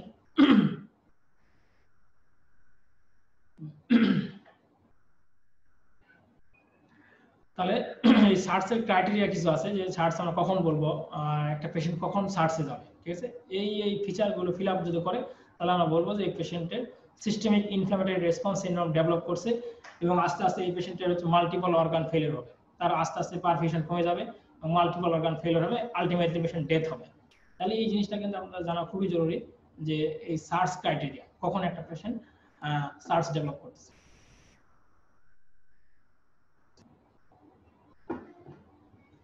তাহলে আসেন আমাদের সার্চ তাহলে এখানে অপশনে দেওয়া আছে hypothermia hyperthermia tachycardia tachypnoea leukopenia এখানে সবগুলাই ট্রু ঠিক আছে?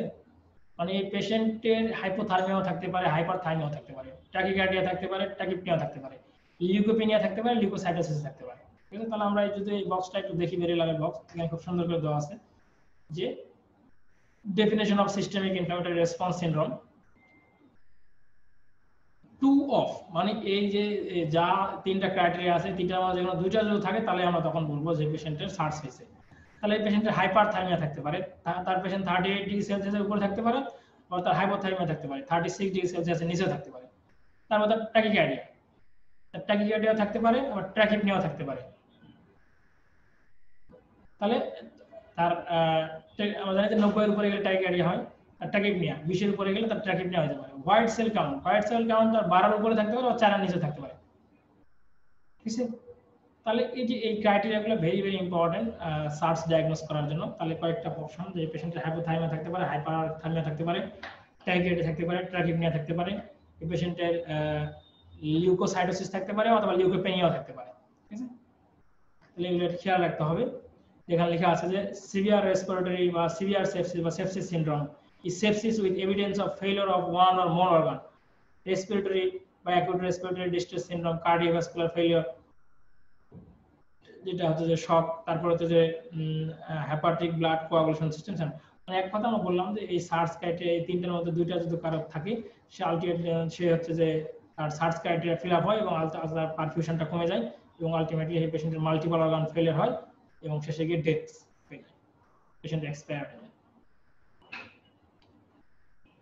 পরের question global end point resuscitation of a shock patient is determined by তাহলে আমরা একটা পেশেন্টটাকে যে শক রিসাসিটেট করতেছি, এই রিসাসিটেট করার জন্য পেশেন্টের শক যে রিসাসিটেট করতেছি, কিছু আমাদের ক্রাইটেরিয়া দেখতে হবে যে পেশেন্টের আসলে শকটা ইমপ্রুভ করতেছে কিনা। ঠিক আছে? তার তিনটা জিনিস আমরা দেখি। একটা হচ্ছে সেরাম ল্যাকটেট লেভেল একটা হচ্ছে mixed venous saturation oxygen saturation একটা হচ্ছে বেস ডেফিসিট ঠিক আছে? এই তিনটা জিনিস আমরা দেখি গ্লোবাল এন্ড পয়েন্ট রিসাসিটেশনে আর হচ্ছে যে শখের কিছু এটা আমরা এখানে অবশ্য দিতে পারি না মনে হয়। যে শখের কিছু মিনিমাম কিছু জিনিস দেখতে হবে, কিছু হচ্ছে ম্যাক্সিমাম মানে কিছু অ্যাডিশনাল জিনিস দেখতে হয়, ঠিক আছে?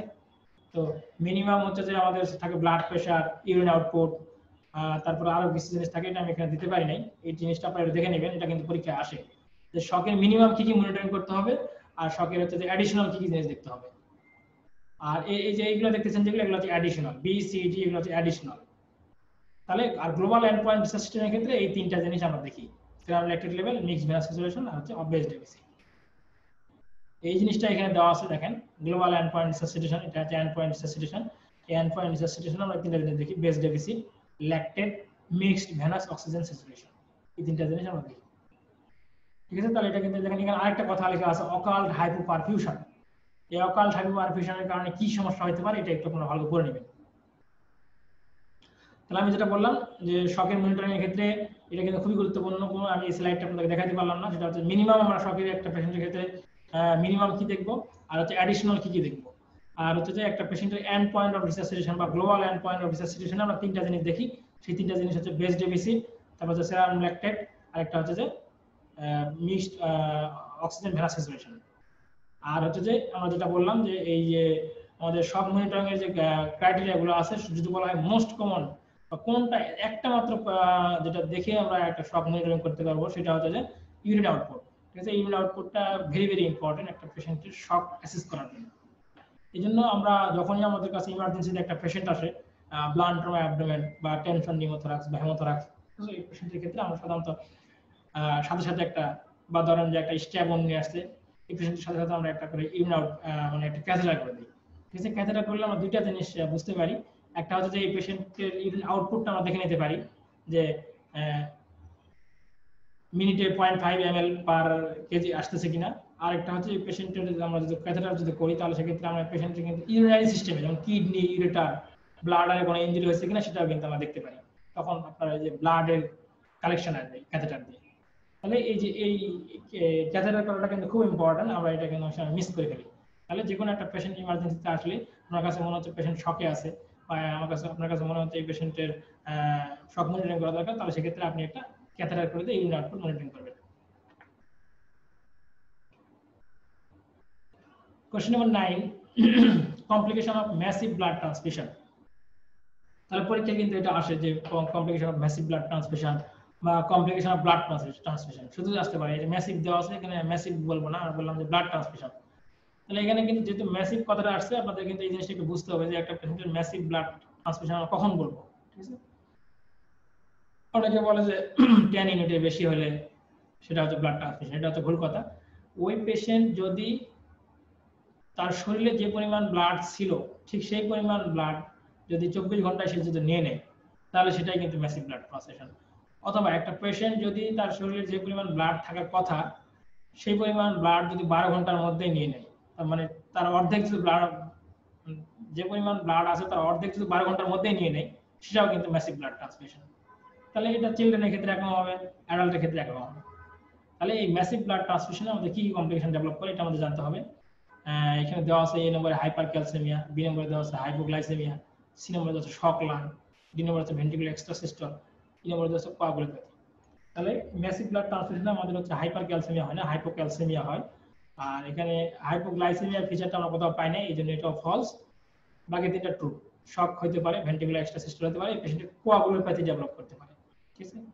আমরা জানি যে আমাদের death of triad triad of death আছে, সেখানে তিনটা পয়েন্ট থাকে, একটা হচ্ছে যে মেটাবলিক অ্যাসিডোসিস একটা হচ্ছে কোয়াগুলোপ্যাথি একটা হচ্ছে হাইপোথার্মিয়া এই জিনিসটা কিন্তু আপনাদের জন্য ভেরি ইম্পর্টেন্ট যে একটা পেশেন্ট যখন টায়ার্ড অফ ডেথ এর মধ্যে যখন মানে ধরেন একটা পেশেন্ট ইমার্জেন্সি পেশেন্ট আসছে আপনার কাছে, আপনি মনে হচ্ছে, মনে করতেছেন যে পেশেন্ট আস্তে আস্তে এক্সপায়ার্ডের দিকে যাচ্ছে। তখন এই পেশেন্টে কিন্তু এই তিনটা জিনিস ডেভেলপ করতে, করে, সাধারণত। একটা হচ্ছে যে মেটাবলিক অ্যাসিডোসিস ডেভেলপ করে, একটা হচ্ছে তার হাইপোথার্মিয়া ডেভেলপ করে, এবং আস্তে আস্তে তার কোয়াগুলোপ্যাথি ডেভেলপ করে। এই তিনটাকে আমরা বলতেছি টায়ার্ড অফ ডেথ তাহলে এখানে দেখেন আপনারা কমপ্লিকেশন অফ সিঙ্গেল ট্রান্সমিশন প্রথমে দেওয়া আছে।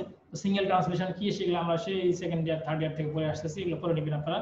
Complication of massive blood transmission এই ম্যাসিভ ব্লাড ট্রান্সমিশনের পাঁচটা ক্রাইটেরিয়া দেওয়া আছে বেরিয়ে এই পাঁচটা পড়বেন এখানে খেয়াল রাখতে হবে যে হাইপোক্যালেমিয়া হয় হাইপারক্যালেমিয়া হয়। ঠিক আছে? এখানে মেটাবলিক অ্যাসিডোসিস ডেভেলপ করে।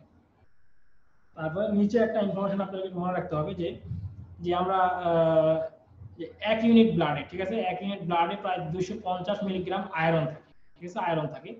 তো যেদের যারা থ্যালাসেমিয়া পেশেন্ট ঠিক আছে? থ্যালাসেমিয়া পেশেন্টের ক্ষেত্রে কিন্তু আমরা রিপিটেড ব্লাড ট্রান্সফিউশন করতে হয়। মাস, এক মাস পর পর। এই পেশেন্টের ক্ষেত্রে কিন্তু হচ্ছে যে এবং লং পিরিয়ড করতে হয়। এই পেশেন্টের ক্ষেত্রে কিন্তু ওই যে আয়রন এক্সেস হয়ে যায়, ঠিক আছে? আয়রন এক্সেস হয়ে যায়, তখন আমরা কিন্তু আয়রন চিলেটিং থেরাপি দিই পেশেন্টকে থ্যালাসেমিয়া পেশেন্টকে কিন্তু আমরা যখন ব্লাডের অর্ডার দিই, সাথে একটা কিন্তু আয়রন চিলেটিং এজেন্টও দিয়ে দিই, ঠিক আছে? তাহলে এটা খেয়াল রাখতে হবে, এটা আপনাদের জন্য একটা সিঙ্গেল বেস্ট কোশ্চেন আসতে পারে যে এক ইউনিট ব্লাডে কত মিলিগ্রাম আয়রন থাকে? দুইশো পঞ্চাশ মিলিগ্রাম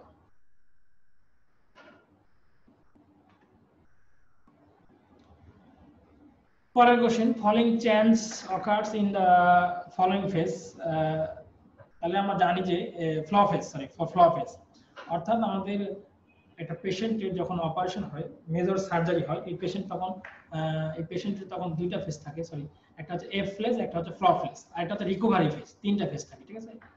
একটা জিনিস খেয়াল রাখবেন আপনারা যে এফ ফেজ যেটা, সেখানে সবগুলো হচ্ছে যে, কমতে থাকে। তার কার্ডিয়াক আউটপুট কমবে, তার অক্সিজেন স্যাচুরেশন কমবে, তার ভলিউম কমবে সবগুলাই কমে।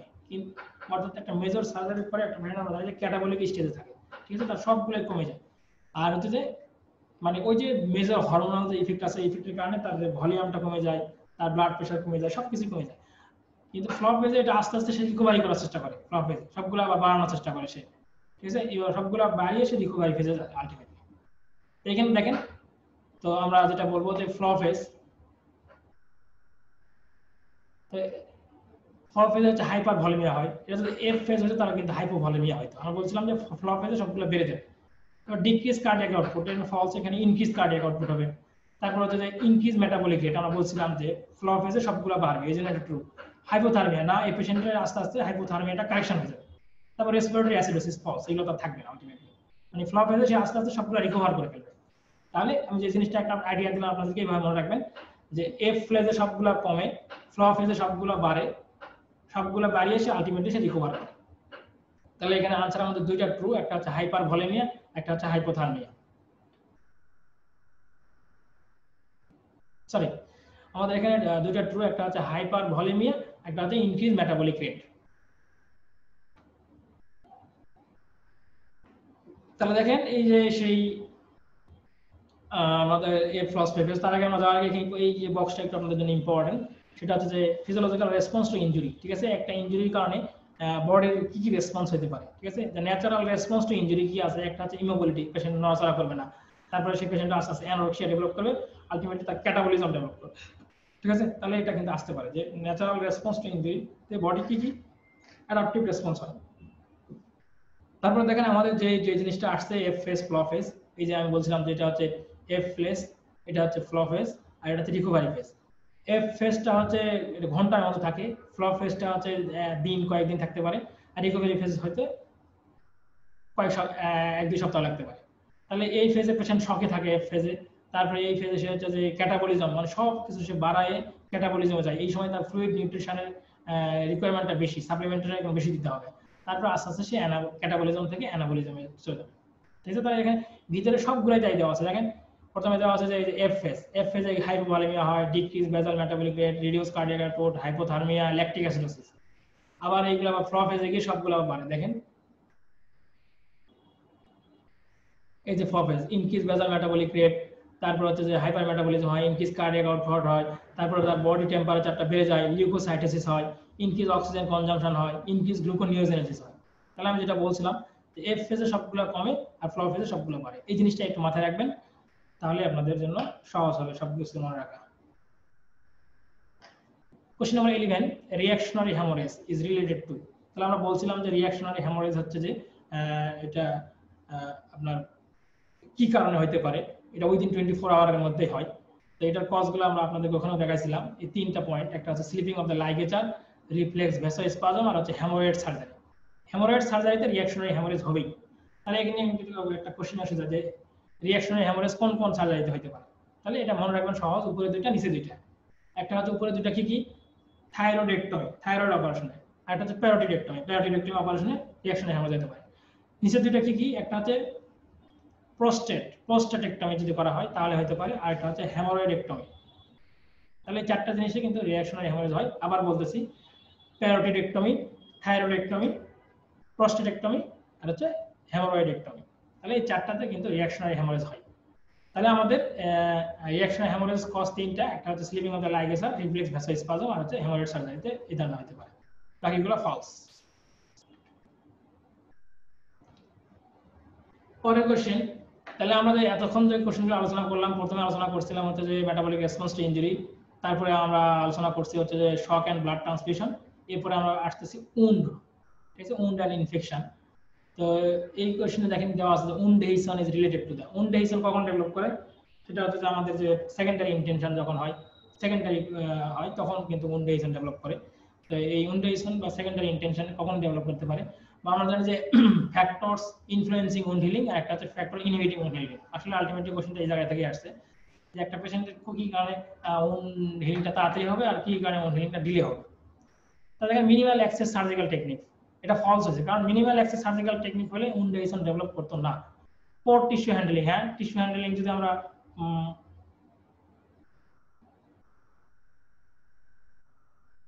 এটা কিন্তু পোর টিস্যু হ্যান্ডেলিংটা আমার কাছে ট্রু মনে হচ্ছে। যে পোর টিস্যু যদি আমরা হ্যান্ডেলিং করি উন্ডাইজেশন ডেভেলপ করার কথা না। তার মানে এটাও আমাদের কাছে মনে হচ্ছে যে ফলস হবে। রেনাল ফেল হ্যাঁ একটা পেশেন্টের যদি সিস্টেমিক ডিজিজ থাকে, তাহলে তার এই উন্ডাইজেশন ডেভেলপ করতে পারে। তার সিওপিডি যদি থাকে, তাহলে পেশেন্টের একটা সবসময় প্রেশার একটা বেশি থাকে ডেভেলপ করতে পারে। হাই লোকাল ব্লাড সাপ্লাই এটা ফলস তাহলে এটা কিন্তু বি নম্বরটা আমার কাছে মনে হচ্ছে এটা false answer poor poor tissue handling ঠিক আছে? এটা একটু আপনারা সব কারেকশন করে নেবেন। তাহলে ইজ রিলেটেড টু তাহলে দুইটা হলো ট্রু একটা হচ্ছে অ্যাসোসিয়েটেড রেনাল ফেলিয়ার একটা হচ্ছে সিওপিডি তাহলে factors influencing healing of a wound তাহলে আমরা বলছিলাম যে এখানে কিছু লোকাল ফ্যাক্টর আছে, কিছু সিস্টেমিক ফ্যাক্টর আছে, ঠিক আছে? এইগুলো আমাদের ভালো করে খেয়াল রাখতে হবে। লোকাল ফ্যাক্টর মানে লোকাল যে কজগুলো আছে, যেমন একটা, কোন জায়গায় উনটা হচ্ছে? ঠিক আছে? উনটা আপার লিমে হয়, তাহলে কিন্তু একরকম হবে লোয়ার লিমে হলে একরকম হবে। আমাদের যে আপার লিমে সার্কুলেশনটা একটু বেশি লোয়ার লিমিট কম স্ট্রাকচার ইনভলভ কোন স্ট্রাকচারটা ইনভলভ হচ্ছে? ঠিক আছে? এটা একটা ইম্পর্টেন্ট তার মেকানিজম উন এই উনটা কীভাবে হয়েছে? ইনসিশন দিয়ে হয়েছে ইনসিশন যদি আমরা একটা দেই এটা কিন্তু তাড়াতাড়ি রিকভার হয়ে যায়। ক্রাশ বা ক্রাশ এভালশন একটা হচ্ছে ক্রাশ একটা ক্রাশ এভালশন এভালশন ইনজুরি যেগুলো হবে, এগুলো সময় লাগবে অনেক। কন্টামিনেশন এটা সাথে যদি ফরেন বডি ব্যাকটেরিয়া এগুলো কন্টামিনেশন থাকে, তাহলে এটাকে দেরি হবে। Loss of tissue loss of tissue টিস্যুর পরিমাণ কি পরিমাণ লস হয়েছে সেটার উপর ডিপেন্ড করে।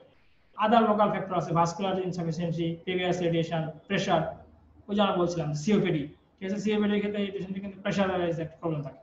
আর সিস্টেমিক ফ্যাক্টর কিছু আছে malnutrition vitamin deficiency disease diabetes mellitus তারপর যে স্টেরয়েড যদি একটা পেশেন্ট খায়, তার যে ইমিউনো ডেফিসিয়েন্সি কিছু ফিচার থাকে পেশেন্টের স্মোকিং স্মোকার যদি হয়, ঠিক আছে? তাহলে খেয়াল রাখতে যে স্মোকিংটা কিন্তু হচ্ছে সিস্টেমিক ফ্যাক্টর তাহলে এই বক্সটা আপনাদের জন্য ভেরি ভেরি ইম্পর্টেন্ট এই একই জিনিসই আপনারা প্যাথোলজিতেও পড়ছেন হিলিং হেমোডাইনামিক্স রিপেয়ারে তো ওটার সাথে একটু সমন্বয় করে এটা পড়ে নেবেন। পরের কোশ্চেন পরের question common site of pressure sore ঠিক আছে? Common site of pressure sore তাহলে এটাও হচ্ছে যে আমাদের ক্লিনিক্যালি খুবই গুরুত্বপূর্ণ একটা কোশ্চেন যে আমরা ওয়ার্ডে ইনভেরিয়েবলি আমরা এই প্রেসার সর বা বেড সরের পেশেন্ট পাই। তো এই বেড সরের পেশেন্টের কি ম্যানেজমেন্ট এবং এই পেশেন্টের ডায়াগনোসিস প্রেসার সরটা কোন গ্রেডে আছে কখন কি ট্রিটমেন্ট করবে, এটা কিন্তু অ্যাজ এ সার্জন হিসেবে এটা আমাদের খুব বেশি জানতে হবে, ঠিক আছে? তাহলে আমরা এই প্রেসার শটটা একটু ভালো করে আমরা পড়ে নিব। আপনাদের প্রতি আমার রিকোয়েস্ট থাকবে যে প্রেসার শটটা আপনারা একটু ভালো করে পড়ে নেবেন। তাহলে প্রেশার শট আমাদের কোথায় কোথায় ডেভেলপ করে দেখেন। এখানে ইসচিয়াম আছে একটা অক্সিপুট আছে, ঠিক আছে? এই দুটাতে ডেভেলপ করে বাকিগুলো ফলস আমরা আপনাদের স্লাইডটা যদি একটু দেখাই, তাহলে আপনারা বুঝবেন যে প্রেসার শট ডেভেলপ করে হচ্ছে দেখেন ইসচিয়াম ডিসেন্ডিং অর্ডার উপর থেকে নিচে ischium greater trochanter sacrum heel malleolus ম্যালিউলাসের ক্ষেত্রে কিন্তু একটা জিনিস মজার লক্ষণীয়। প্রথমে হচ্ছে ল্যাটারাল ম্যালিউলাসটা প্রথমে ডেভেলপ করবে, তার মিডিয়াল ঠিক আছে? তারপর আপনারা দেখবেন যে পেশেন্টগুলো শোয়া থাকে, তাদের ল্যাটারাল ম্যালিউলাসটা সবসময় নিচের দিকে থাকে। তারপর অক্সিপোর্ট তাহলে এই পাঁচ, ছয়টা জিনিস আপনাদেরকে ভালো করে মনে রাখতে হবে। ডিসেন্ডিং অর্ডার দিয়ে আপনারা মনে রাখতে পারেন, যে এই জায়গাগুলো আছে আপনার প্রেশার সব ডেভেলপ করে। আর প্রেশার সব সম্পর্কে আপনাদের ডিটেলস করতে হবে যে প্রেশার সব কীভাবে হচ্ছে ulceration due to the prolonged pressure ঠিক আছে? তারপর হচ্ছে যে এটাকে আমরা ডেকুবিটাস আলসার বা প্রেশার আলসার বলতেছি। তারপর হচ্ছে এটা হচ্ছে যে should be regarded as preventable এটা এটা আমরা প্রিভেন্ট করতে পারি। পাঁচ পার্সেন্টের ক্ষেত্রে হসপিটাল পেশেন্টের ক্ষেত্রে হয়, ঠিক আছে? হসপিটালে অ্যাডমিট থাকে, এই ধরনের পাঁচ পার্সেন্ট পেশেন্টের ক্ষেত্রে হয়। তারপর হচ্ছে যে, যারা paraplegic patient paralysis patient ill patient ঠিক আছে? এদের ক্ষেত্রে কিন্তু এটা আবার কিন্তু হওয়ার টেন্ডেন্সিটা বেশি। তারপর আমরা এখানে একটা স্টেজিং দেওয়ার চেষ্টা করছি যে কখন কোন স্টেজকে আপনি প্রেশার সর বলবেন ঠিক আছে? কখন আপনি ট্রিটমেন্ট ভালোভাবে করবেন? যেমন আপনি দেখতেছেন একটা শত ফসকার মতো পড়ছে, তাহলে তখন কি ট্রিটমেন্ট হবে? বা যখন একটু বড় বিশাল ঘা হয়ে গেছে টেন্ডন এক্সপোজ হয়ে গেছে, তখন কি করবেন? তাহলে দেখেন ওয়ান নাম্বার আছে non blanchable erythema without breach the epidermis মানে এটা একটু কোন এপিডার্মিস যেটা আছে, এটাকে তখনও ব্রিজ করবে না। দুই নম্বর হচ্ছে partial thickness of the skin loss involving the epidermis dermis epidermis dermis involve হলে সেটা হচ্ছে stage two R full thickness skin loss extending with the subcutaneous tissue ঠিক আছে? But not through the underlying fascia underlying fascia যখন cross করবে, তখন পর্যন্ত আমরা বলব এটা হচ্ছে স্টেজ থ্রি আর স্টেজ ফোরে আমরা একদম বন স্টোনস একদম টেন্ডন যা আছে সেগুলো এক্সপোজ ঠিক আছে? তাহলে এই যে স্টেজটা আপনার জন্য ট্রিটমেন্ট পারপাজে আপনাদেরকে স্টেজটা জানতে হবে যে কখন কোন স্টেজে আপনি কোন ট্রিটমেন্টটা করবেন। যেমন প্রথমে এক, দুই স্টেজে থাকলে আমরা শুধু ডেভেলপমেন্ট করে পেশেন্টটাকে যদি নিয়মিত ফলো আপ করি এবং তার যদি পজিশনটা মেনটেন করি, তাহলে কিন্তু ভালো হয়ে যাবে। কিন্তু ওটা যদি আমরা মিস করে ফেলি, তাহলে পেশেন্ট কিন্তু পরবর্তী থার্ড ফোর্থ স্টেজে যাবে। আলটিমেটলি তখন তাকে ম্যানেজ করা অনেক কষ্ট হয়ে যাবে। দেখেন, একটা টিপিক্যাল বেড সর পেশেন্ট আর উপরে এটা দেওয়া আছে যে প্রেশারটা occlusive pressure capillary occlusive pressure thirty millimeter বা মার্কারি যদি কারণে হয়ে যায়, তখন কিন্তু এটা হয়।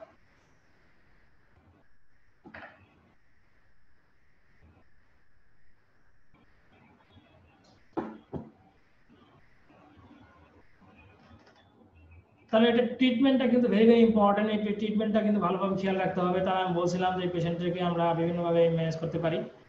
যেমন এই যে প্রেশার তাকে হচ্ছে যে দুই ঘণ্টা পর পরে তার কিন্তু পজিশনটা চেঞ্জ করে দিতে হবে। এই পেশেন্টের ক্ষেত্রে আমরা নিউমেটিক বেড ইউজ করি, ঠিক আছে? এইগুলো পেশেন্টের ক্ষেত্রে আমরা এই যে ভ্যাকুয়াম অ্যাসিস্টেড প্রচার করি, ঠিক আছে? তো সবগুলো পরে আলটিমেটলি শেষে গিয়ে একটা লোকাল ফ্লাপ বা আমরা একটা গ্র্যাপ করে দিতে পারি, ঠিক আছে? তাহলে এই টপিকসটা আপনারা একদম ডিটেইলস ভালো করে পড়বেন বেরিলাপ থেকে। যে আপনার কখন আমরা বেডসোর বলতেছি, এই বেডসোরের অন্য নাম কি? ডেকুবিটাস আলসার বা প্রেশার আলসার।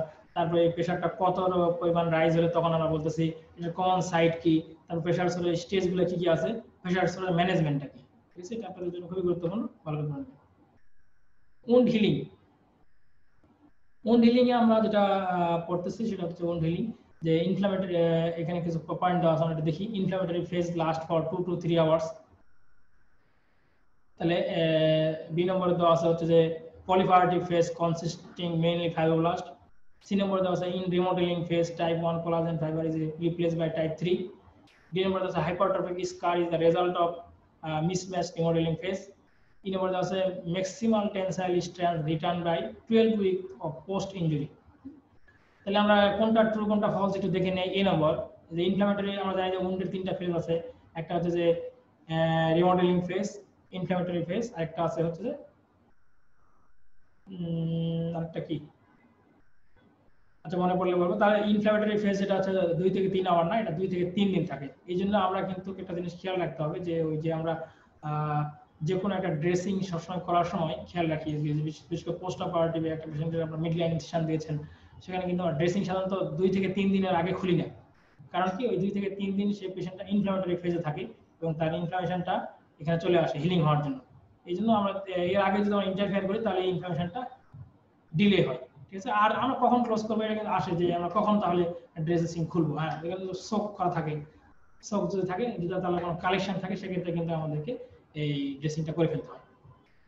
তাহলে এই জিনিসটা কিন্তু আমাদের জন্য খুব ইম্পর্টেন্ট যে তারপরে আমরা কিন্তু একটা যখন আমরা বিশেষ করে ইমার্জেন্সিতে যে পেশেন্টগুলার ইয়ে দিই চেস্ট ড্রেন টিউব দিই। চেস্ট ড্রেন টিউব দেওয়ার পরে যেগুলো পেশেন্ট টেনশন নিউমোথোরাক্স বা হেমোথোরাক্স ম্যাসিভ হেমোথোরাক্স পেশেন্ট নিয়ে আসছে, সেই পেশেন্টকে কিন্তু কিন্তু আমরা চেস্ট ড্রেন টিউব দেওয়ার পরে বা একটা পেশেন্ট আমি সাসপেশন করছি, এটা হচ্ছে টেনশন নিউমোথোরাক্স ঠিক আছে? টেনশন নিউমোথোরাক্স বা পেশেন্টের আমার হচ্ছে এটা হেমোথোরাক্স আছে কালেকশন মনে হচ্ছে অনেক আছে, কিন্তু পরে চেস্ট ড্রেন টিউব দেখলাম কালেকশন আসলো না। তাহলে কি সাথে সাথে আমি এটা খুলে ফেলব চেস্ট ড্রেন না, খোলা যাবে না। এটা কমসে কম তিন দিন রাখতে হবে। এই একটা কারণ, ওই যে আমি ওখানে একটা উন তৈরি করে ফেলছি, ঠিক আছে? এই উনটা সাবসাইড হওয়ার জন্য ইনফ্লামেটরি ফেজ আসার জন্য কমসে কম তিন দিন রাখতে হবে। তারপরে আমি ওই টিউবটা রিমুভ করতে পারব। তাহলে ইনফ্লামেটরি ফেজ দুই থেকে তিন দিন হবে। Proliferative phase consisting mainly fibroblast true is remodeling phase type 1 replace by type 3 এটা হচ্ছে যে রেশিও অফ 10 রেশিও হচ্ছে যে তখনই হবে যখন 4.1 হবে, ঠিক আছে? তখন হবে। এই জন্য এটা ফলস হয়ে গেছে। Hypertrophic scar is the result of mismatch remodeling phase, false এটা। Maximal tension strength return by 12 week of post injury ঠিক আছে? তাহলে ম্যাক্সিমাম স্ট্রেন্থ আসা হচ্ছে যে 12 সপ্তাহে।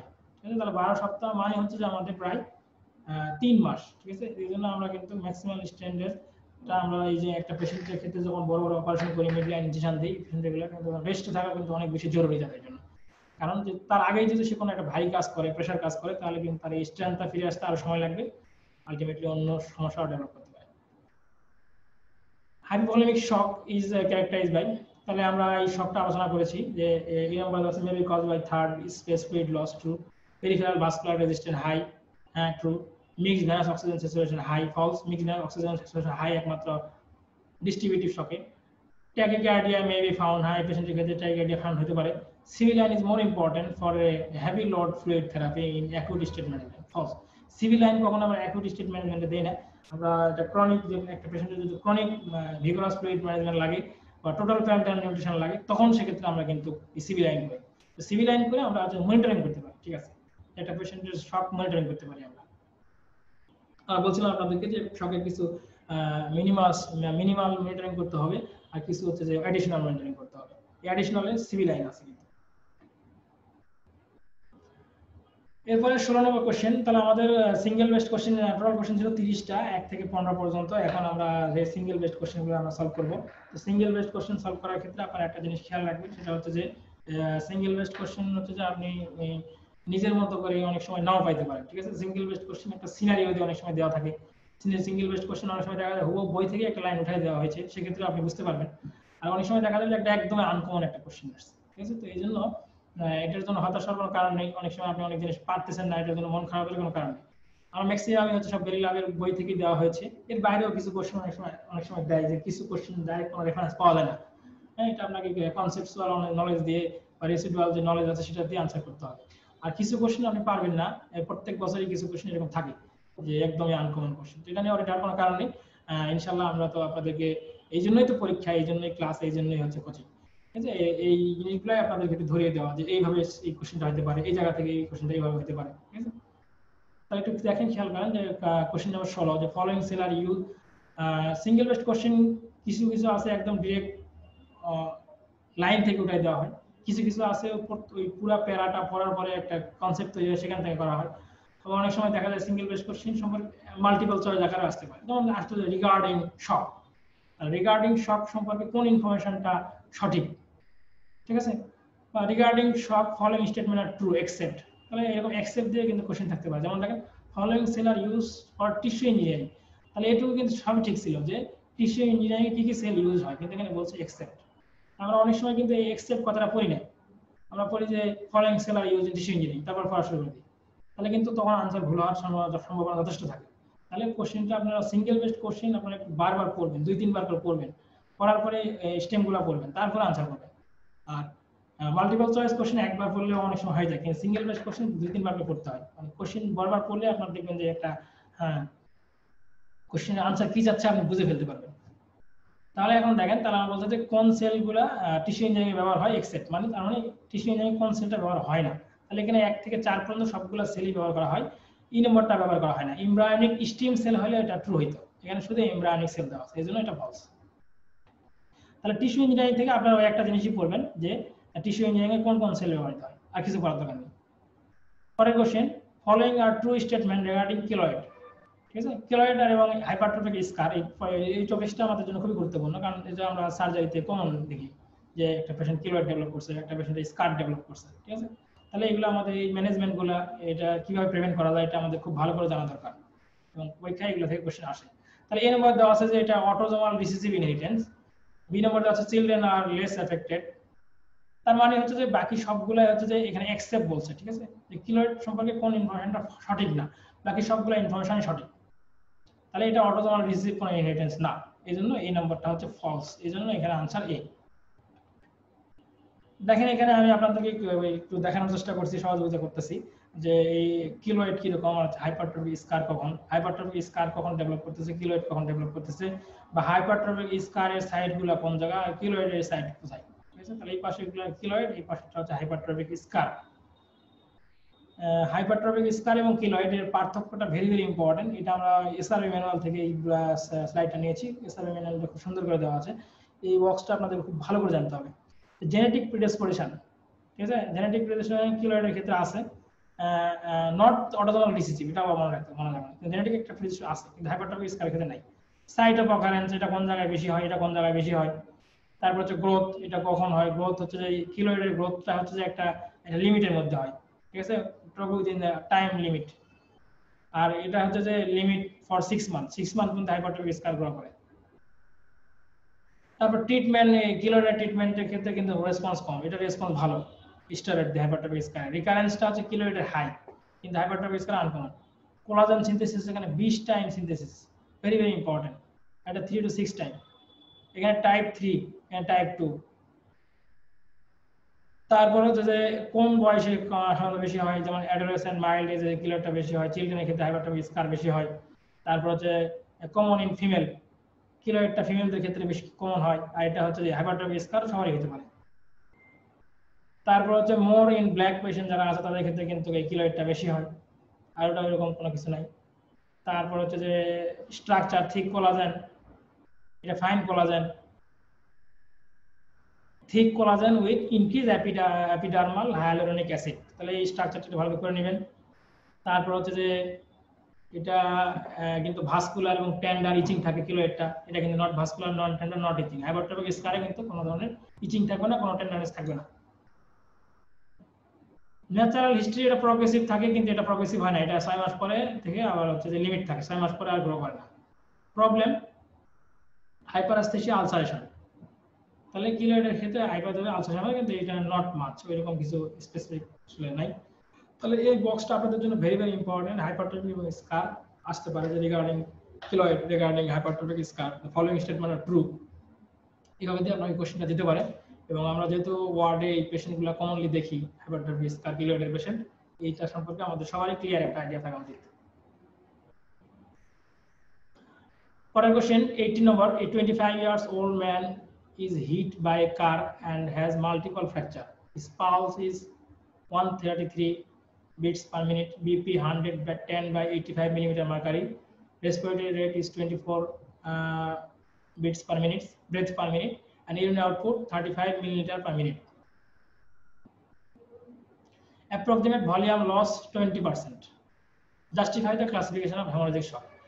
অর্থাৎ এখানে অনেক কিছুই দেওয়া আছে, এত কিছু আমরা জানব না শেষে একটা কথা দেওয়া আছে অ্যাপ্রক্সিমেট ভলিউম লস তাহলে যে কোনো ক্ষেত্রে আপনারা খেয়াল রাখবেন যে সিঙ্গেল বেস্ট কোশ্চেনে একটা বিশাল বড় একটা সিনারি দেওয়া থাকবে, কিন্তু এই সিনারিওতে যে কোনো একটা লাইনে একটা ক্লু দেওয়া থাকে তো একটা ক্লু দিয়ে কিন্তু আপনাকে কোশ্চেন আনসারটা করে ফেলতে হবে ওটা হয়তো মাঝখানেও দেওয়া থাকতে পারে, শেষেও দেওয়া থাকতে পারে কারণ এই মানে একটা বিশাল সিনারিও দিয়ে অনেক সময় বিভ্রান্তি করে যে কোন দিকে যাচ্ছে, কোন দিকে যাচ্ছে, একবার একদিক মনে হয়, একবার আরেক দিক মনে হয়। তাহলে আপনারা দেখবেন যে একটা ক্লু থাকবে, সেই ক্লুটা আপনাকে একটু বের করতে হবে। যেমন এইখানে বলছে approximate volume loss twenty percent তাহলে আমরা জানি যে হ্যামোরেজিক শকের একটা ক্লাসিফিকেশন আছে ট্র্যাডিশনাল ক্লাসিফিকেশন আছে, যে কত পার্সেন্ট ব্লাড লস হলে ওটা ক্লাস ওয়ান কত পার্সেন্ট হলে ক্লাস টু কত পার্সেন্ট ক্লাস থ্রি ঠিক আছে? তাহলে এটা আনসার হচ্ছে ক্লাস টু পনেরো থেকে বিশের মধ্যে আমরা জানি যে ক্লাস টু আর পনেরোর নিচে হলে ক্লাস ওয়ান ঠিক আছে? পনেরো থেকে বিশ যেহেতু এখানে আছে এই এটা ক্লাস টু আর পনেরোর নিচে হলে এটা ক্লাস ওয়ান হতো দেখেন পরে স্লাইড এই degree of classification traditional classification দেখেন বলা আছে যে পনেরোর নিচে হলে এটা হচ্ছে ক্লাস ওয়ান পনেরো থেকে তিরিশ আজকের কোশ্চেনে যেটা আসছে সেটা হচ্ছে টু তিরিশ থেকে চল্লিশ পার্সেন্ট ব্লাড লস হলে থ্রি আর চল্লিশের উপরে হলে ক্লাস ওয়ান ঠিক আছে? তাহলে দেখেন এখান থেকে কিন্তু একটা ক্লিনিক্যাল সিনারিও দিয়ে একটা কোশ্চেন চলে আসছে। ডাইরেক্ট কিন্তু আসতে পারতো। তাহলে এইভাবেই কিন্তু কোশ্চেনগুলো এইভাবেই হয়। তাহলে এখানে সেই এক্সপ্লেনেশন দেওয়া আছে, এটা করে নেবেন আপনারা। কোশ্চেন নাম্বার উনিশ the term healing by secondary intention তাহলে আমরা জানি যে হিলিং দুইভাবে হয়, একটা হচ্ছে প্রাইমারি ইন্টেনশন একটা হচ্ছে সেকেন্ডারি ইন্টেনশন আমরা প্রাইমারি ইন্টেনশন এবং সেকেন্ডারি ইন্টেনশন কাজগুলো আমরা জানতে হবে। তাহলে ঠিক আছে? যে সেকেন্ডারি ইন্টেনশনে আমরা কি কি করি? সাধারণত এখানে বলছে যে using cat gut cat gut আমরা ইউজ করি না। Obtaining union between two edges হ্যাঁ দুইটা এস থাকবে, ঠিক আছে? এই জন্য আমরা বলি এখানে একটা উন্ডেহিশন থাকে, ঠিক আছে? তাহলে বি নম্বর অপশনটা ট্রু বাকিগুলো হচ্ছে ফলস এগুলো আমরা পড়তেছি না। যে the immediate use of gauze bandage steroid administration এগুলো ফলস তাহলে এই বি নম্বর অপশনটা হচ্ছে অ্যাপ্রোপ্রিয়েট যে এখানে একটা টু এস থাকে এবং এটা একটা গ্যাপ থাকে, আমরা জানি সেকেন্ডারি ইন্টেনশনে আর প্রাইমারি ইন্টেনশনে থাকে না। তাহলে এখানে দেখেন, এই প্রাইমারি ইন্টেনশন এবং সেকেন্ডারি ইন্টেনশনের কিছু ফিচার দেওয়া আছে। কখন হবে প্রাইমারি ইন্টেনশন কখন হবে সেকেন্ডারি ইন্টেনশন ঠিক আছে? এটা একটু ভালো করে আপনাদেরকে পড়তে হবে। এইখান থেকে কোশ্চেন কিন্তু অনেক সময় আসে। রিঅ্যাপিটালাইজেশন কোথায় হয়? উন ডিহিশন কোথায় হয়? উন গ্যাপ কোথায় থাকে? ঠিক আছে? মিনিমাল প্রসিডিউর করলে কোথায় হবে? ম্যাক্সিমাল গার্ড ইন্টারফেয়ার করলে কোনটা হবে? এগুলো একটু আপনারা করে নেবেন। পরের question a 65 years old woman present one week post transfusion with anemia jaundice and fever ঠিক আছে? সে এক সপ্তাহ আগে সে ব্লাড ট্রান্সফিউশন হয়েছে, পরবর্তীতে তার হচ্ছে যে পোস্ট ট্রান্সফিউশন অ্যানিমিয়া এবং জন্ডিস ফিভার ডেভেলপ করছে, ঠিক আছে? তার কি কারণে এটা হয়েছে? ঠিক আছে? এটা আমরা জানি যে সাধারণত ডিলেড হিমোলাইটিক অ্যানিমিয়া ঠিক ডিলেড হিমোলাইটিক রিঅ্যাকশন দেখুন, লেখা of the further IgG usually one week later lead to the delayed hemolysis তার মানে ডিলেড তার হিমোলাইটিক রিঅ্যাকশন হয়েছে, এই জন্য এটা আনসার হচ্ছে ডি তবে আমরা কিন্তু সরাসরি কিন্তু কোশ্চেন পাই না আমরা ওখানে পড়ছি যে সিঙ্গেল ইউনিট ট্রান্সমিশনের কারণে কি কি হতে পারে?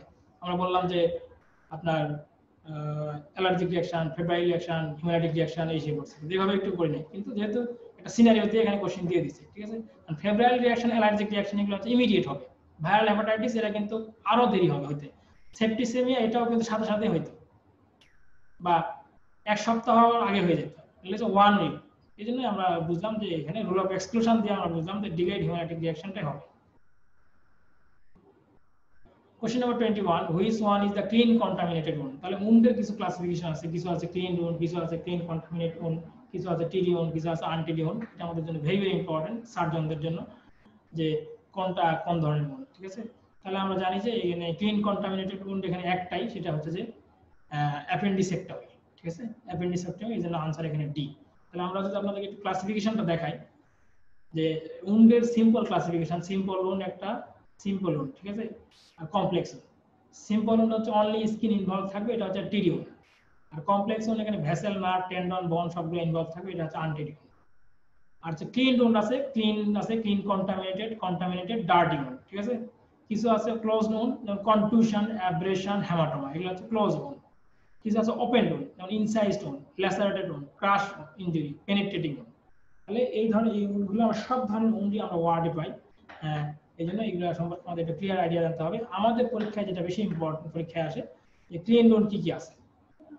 ঠিক আমাদের পরীক্ষা আসছে ক্লিন লোন কি আছে? Herniorrhaphy excision surgery of the brain joint heart transplantation এগুলো আর কি। এগুলোতে ইনফেকশন রেট খুবই কম টু পার্সেন্ট ক্লিন কন্টামিনেটেড কি কি আছে যেটা আমাদের পরীক্ষায় আসছিল আজকে? যে অ্যাপেন্ডিসেক্টমি বাওয়েল ইনজুরি গ্যাস্ট্রোজেনেস্টমি তারপর হচ্ছে যে মানে ক্লিন কন্টামিনেট মানে কি? এটা হচ্ছে যে আমরা মানে একটা উন এটা ক্লিন ছিল মানে এটা কন্টামিনেট ছিল, আমরা ক্লিন করে এটা ঢুকতেছি। এটা হচ্ছে ক্লিন কন্টামিনেট আর কন্টামিনেটেড উন কন্টামিনেট কি আছে যেমন অ্যাকুইট অ্যাবডোমিনাল কন্ডিশন যেমন কোনো পেশেন্টের পেটনাইটিস ডেভেলপ করছে গাট পারফোরেশন হয়েছে, ঠিক আছে? এগুলো হচ্ছে কন্টামিনেটেড উন ওপেন ফ্রেশ অ্যাক্সিডেন্টাল উন এদের ইনফেকশন রেট কিন্তু অনেক বেশি। ডার্টি উন যেগুলো আছে abscess gen pyocele empyema gallbladder faecal peritonitis ঠিক আছে? এগুলো হচ্ছে একদম ডার্টি উন এদের ইনফেকশন রেটটা অনেক বেশি। তাহলে একটা পেশেন্টকে যখন আপনি অপারেশন করবেন, একটা পেশেন্টের যদি গার্ড পারফোরেশন থাকে, তিন, চার দিন পরে আসে, সেটা কিন্তু তার ডার্টি এবং ইনফেক্টেড উন হয়ে গেল এবং একটা পেশেন্টে আপনি হচ্ছে একটা ক্লিন কন্টামিনেটেড একটা অপারেশন করলেন। তাহলে এর অ্যান্টিবায়োটিকের ম্যানেজমেন্ট আর এই অ্যান্টিবায়োটিকের ম্যানেজমেন্ট কিন্তু পার্থক্য থাকবে। কারণ এই পেশেন্টে অলরেডি সে ইনফেক্টেড তার ইনফেকশন রেট অনেক বেশি। পেশেন্টের রিকভারি রেটও খুবই কম মানে এই পেশেন্টটা ভালো হয় না সহজে। তাহলে একটা পারফোরেশন আপনার কাছে আসছে প্রথম দিনেই আসছে। তাহলে সেটার অপারেশন করলে সেটা আউটকাম একরকম একটা পেশেন্ট আসছে পারফোরেশন চার দিন পরে আসছে, তাহলে সেটা আউটকাম কিন্তু একরকম তাহলে এদের অ্যান্টিবায়োটিক ম্যানেজমেন্টটাও হচ্ছে ডিফারেন্ট যেমন এই যে অ্যাপেন্ডিসেক্টমি এই পেশেন্টের ক্ষেত্রে আমরা একটা সিম্পল অ্যান্টিবায়োটিক দিতে পারি অথবা নাও দিলেও সমস্যা নেই কিন্তু এদের ক্ষেত্রে মাস্ট অ্যান্টিবায়োটিক কভারেজ দিতে হবে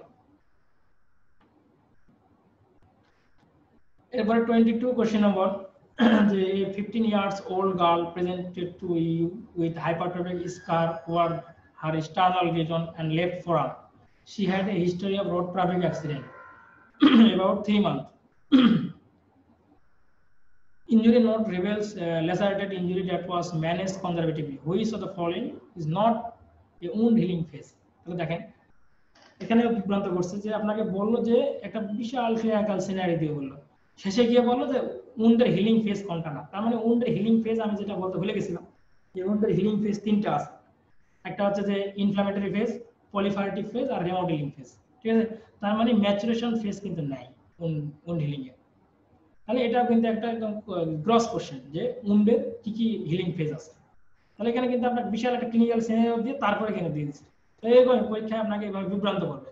কিন্তু আপনি যে জিনিসটা জানেন, সেটা ভালো করে মাথায় রাখেন এবং কোশ্চেনটা তো পরে এবং মূল কি পয়েন্ট ধরে ফেলতে পারেন। আপনার জন্য কোশ্চেনে আনসার করা কিন্তু অনেক সহজ হবে। এরপরে আসেন যে infantile hypertrophic pyloric stenosis usually manifest হয় মানে এই যে পেশেন্ট বাচ্চাদের ক্ষেত্রে কিন্তু এই হাইপারট্রফিক পাইলোরিক স্টেনোসিসটা মোস্ট কমন পাওয়া যায়। সাধারণত কত বছর বয়সে এটা পাওয়া যায়? ঠিক আছে, দুই থেকে সাত, আট সপ্তাহ পাওয়া যায়। দুই থেকে আট সপ্তাহতে এই বেশি কমন পাওয়া যায়। এটা হুবহু বিরিলাপ থেকে আসছে, আমরা সেই সাইটটা আপনাদেরকে দেখাই। দেখেন দেওয়া আছে, the infantile hypertrophic pyelogeniosis most commonly affect boys ঠিক আছে, এটা বয়েজদের ক্ষেত্রে বেশি হয় এবং এটা দুই থেকে আট সপ্তাহ বেশি হয় এটা। তারপর হচ্ছে প্রজেক্টাইল ভমিটিং আফটার ফিট মানে কিছু খাওয়ার পরে তার প্রজেক্টাইল ভমিটিং হবে, ঠিক আছে? Test feed or ultrasound to confirm the diagnosis তাহলে আসতে পারে যে এটা কনফার্মেটরি ডায়াগনোসিসটা কি?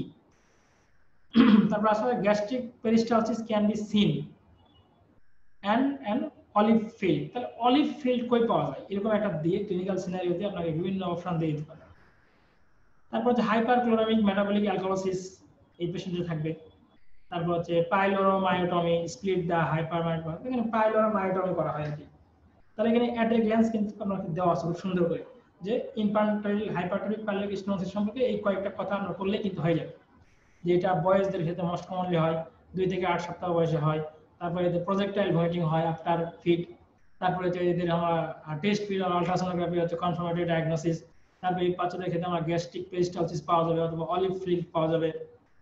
তবে এই পেশেন্টের ক্ষেত্রে একটা মেটাবলিক অ্যাবনর্মালিটি ডেভেলপ করে, সেটা হচ্ছে হাইপার ক্লোরামিক মেটাবলিক অ্যালকালোসিস আর এই এদের অপারেশন নাম হচ্ছে পাইলোরামাইটম ঠিক আছে, তাহলে এক জায়গায় কিন্তু আপনি অনেকগুলো ইনফরমেশন পেয়ে গেলেন তারপরে এইটা আপনাদের জন্য সবচেয়ে বেশি ইম্পর্টেন্ট যে যে বায়োল স্টেনিং ভমিটিং আর নন বায়োলাস ভমিটিং ঠিক আছে? এইটা কিন্তু পরীক্ষায় বারবার আসে। তো এখানে যে দুইটা আছে, আপনি এক, যে কোনো একটা ভালো করে পড়বেন। হয় নন বিলিয়াসটা ভালো করে পড়বেন। যেহেতু ইনফ্যান্টাইল হাইপারট্রফিক পাইলোরিক স্টেনোসিসে নন বিলাস ভমিটিং হয়, তাহলে এর সাথে আর কি কি আছে? তাহলে এই জিনিসগুলো একটু আপনারা ভালো করে পড়বেন। আর এটা একবার রিডিং করলে পড়বেন। মন মানে একটা জিনিস এখানে সহজ আছে, সেটা হচ্ছে কনজেনিটাল অ্যানোমালিস যেগুলো আছে কনজেনিটাল অ্যানোমালিস সেগুলো কিন্তু সাধারণত ওগুলোতে বায়োল স্টেন ভমিটিং হয়। কনজেনিটাল অ্যানোমালিস যেগুলোতে আছে। আর হচ্ছে যে যেগুলো হচ্ছে যে আমাদের এমনি ডিজিজ হয়, সেগুলোতে কিন্তু নন মিলিয়াস ভমিটিং হয়। তাহলে এইভাবে আপনি কিন্তু মনে রাখতে পারেন। তারপর দেখেন আরেকটা জিনিস আমরা মনে রাখতে পারেন যে আমাদের সামনে যে জিনিসগুলো একটু বেশি দেখি ওয়ার্ডে ঠিক আছে? ওয়ার্ডে আমরা বেশি দেখি হচ্ছে যে, যেমন infantile hypertrophic stenosis gastroesophageal reflux disease কারণ এইগুলোতে আমরা ওয়ার্ডে বেশি দেখি, এগুলোতে নন ভিলাস মিটিং তারপরে আমাদের সাধারণত ইনকারসেটেড এগুলো হার্নিয়া ভলভুলাস ইন্ট্রোসাসেপশন এগুলো ওয়ার্ডে আমরা বেশি দেখি, ওগুলোতে সাধারণত বাইল স্টেনিং মিটিং এভাবে কিন্তু আপনি মনে রাখতে পারেন। কারণ এভাবে কোশ্চেন আসতে পারে রিগার্ডিং হার্ট স্পাং ডিজিজ তাহলে ওখানে একটা অপশন দিল যে এখানে বাইল স্টেনিং ভমিটিং পাওয়া যায়। তাহলে সেক্ষেত্রে কিন্তু আপনি যদি এই জিনিসটা এভাবে না পড়েন তাহলে কিন্তু ভুল হয়ে যাবে। তাহলে এই জিনিসটা একটু আপনাদের জন্য খুবই গুরুত্বপূর্ণ। পুরাটাই। এই যে দুটা বক্স আপনাদের দেখালাম এই দুটা বক্স আপনাদের জন্য খুবই গুরুত্বপূর্ণ। Question number 24. which one is the negative uh, which one is the negative reactant of acute তাহলে traumatic phase এর ক্ষেত্রে দুইটা রিঅ্যাকট্যান্ট আছে একটা হচ্ছে নেগেটিভ রিঅ্যাকট্যান্ট একটা হচ্ছে পজিটিভ রিঅ্যাকট্যান্ট তো আমাদের নেগেটিভ রিঅ্যাকট্যান্ট এবং পজিটিভ রিঅ্যাকট্যান্ট কি কি আছে? তো এখানে আমাদের যে অ্যালবামিনটা হচ্ছে যে আমাদের নেগেটিভ রিঅ্যাকট্যান্ট তাহলে এটার আনসার হচ্ছে ডি আনসার ডি কেন ডি আমরা একটু দেখাই আপনাদেরকে। এই যে দেখেন যে একটা হচ্ছে পজিটিভ রিঅ্যাকট্যান্ট আর একটা হচ্ছে নেগেটিভ রিঅ্যাকট্যান্ট আমাদের আসছে নেগেটিভ রিঅ্যাকট্যান্ট নেগেটিভ রিঅ্যাকট্যান্ট হচ্ছে অ্যালবুমিন আর পজিটিভ রিঅ্যাকট্যান্ট হচ্ছে সিআরপি ঠিক আছে? তাহলে এই জন্য আমাদের এখানে আনসার হচ্ছে যে নেগেটিভ রিঅ্যাকট্যান্ট আছে, এই জন্য অ্যালবুমিন। আর এখানে দেখেন ইনসুলিন রেজিস্ট্যান্ট কথাটা আমি নিয়ে আসছি। এই ইনসুলিন রেজিস্ট্যান্টটা হচ্ছে যে অ্যাপ্রক্সিমেটলি টু উইকে ডেভেলপ করে। Insulin resistant maybe persist for approximately two week ঠিক আছে? যে একটা পেশেন্টের আপনি সার্জারি করছেন সার্জারি করার পরে দেখলেন যে এই পেশেন্টের ইনসুলিন রেজিস্ট্যান্ট দুই সপ্তাহ পর্যন্ত তারা পারসিস্ট করতে পারে। আমরা জানি যে ওই সার্জারি করলে পেশেন্টের কিন্তু ওই যে insulin IGF one T three এগুলো সবগুলো কমে যায়, ঠিক আছে? এই জন্য এই পেশেন্টের কিন্তু ইনসুলিন রেজিস্ট্যান্ট ডেভেলপ করতে পারে। তাহলে এই জিনিসটা কিন্তু আপনাদেরকে খেয়াল রাখতে হবে। ডায়াবেটিস পেশেন্টের ক্ষেত্রে একটা প্রিকশন রাখতে হবে। টিউ পেশেন্টের আমরা কীভাবে ম্যানেজ করব?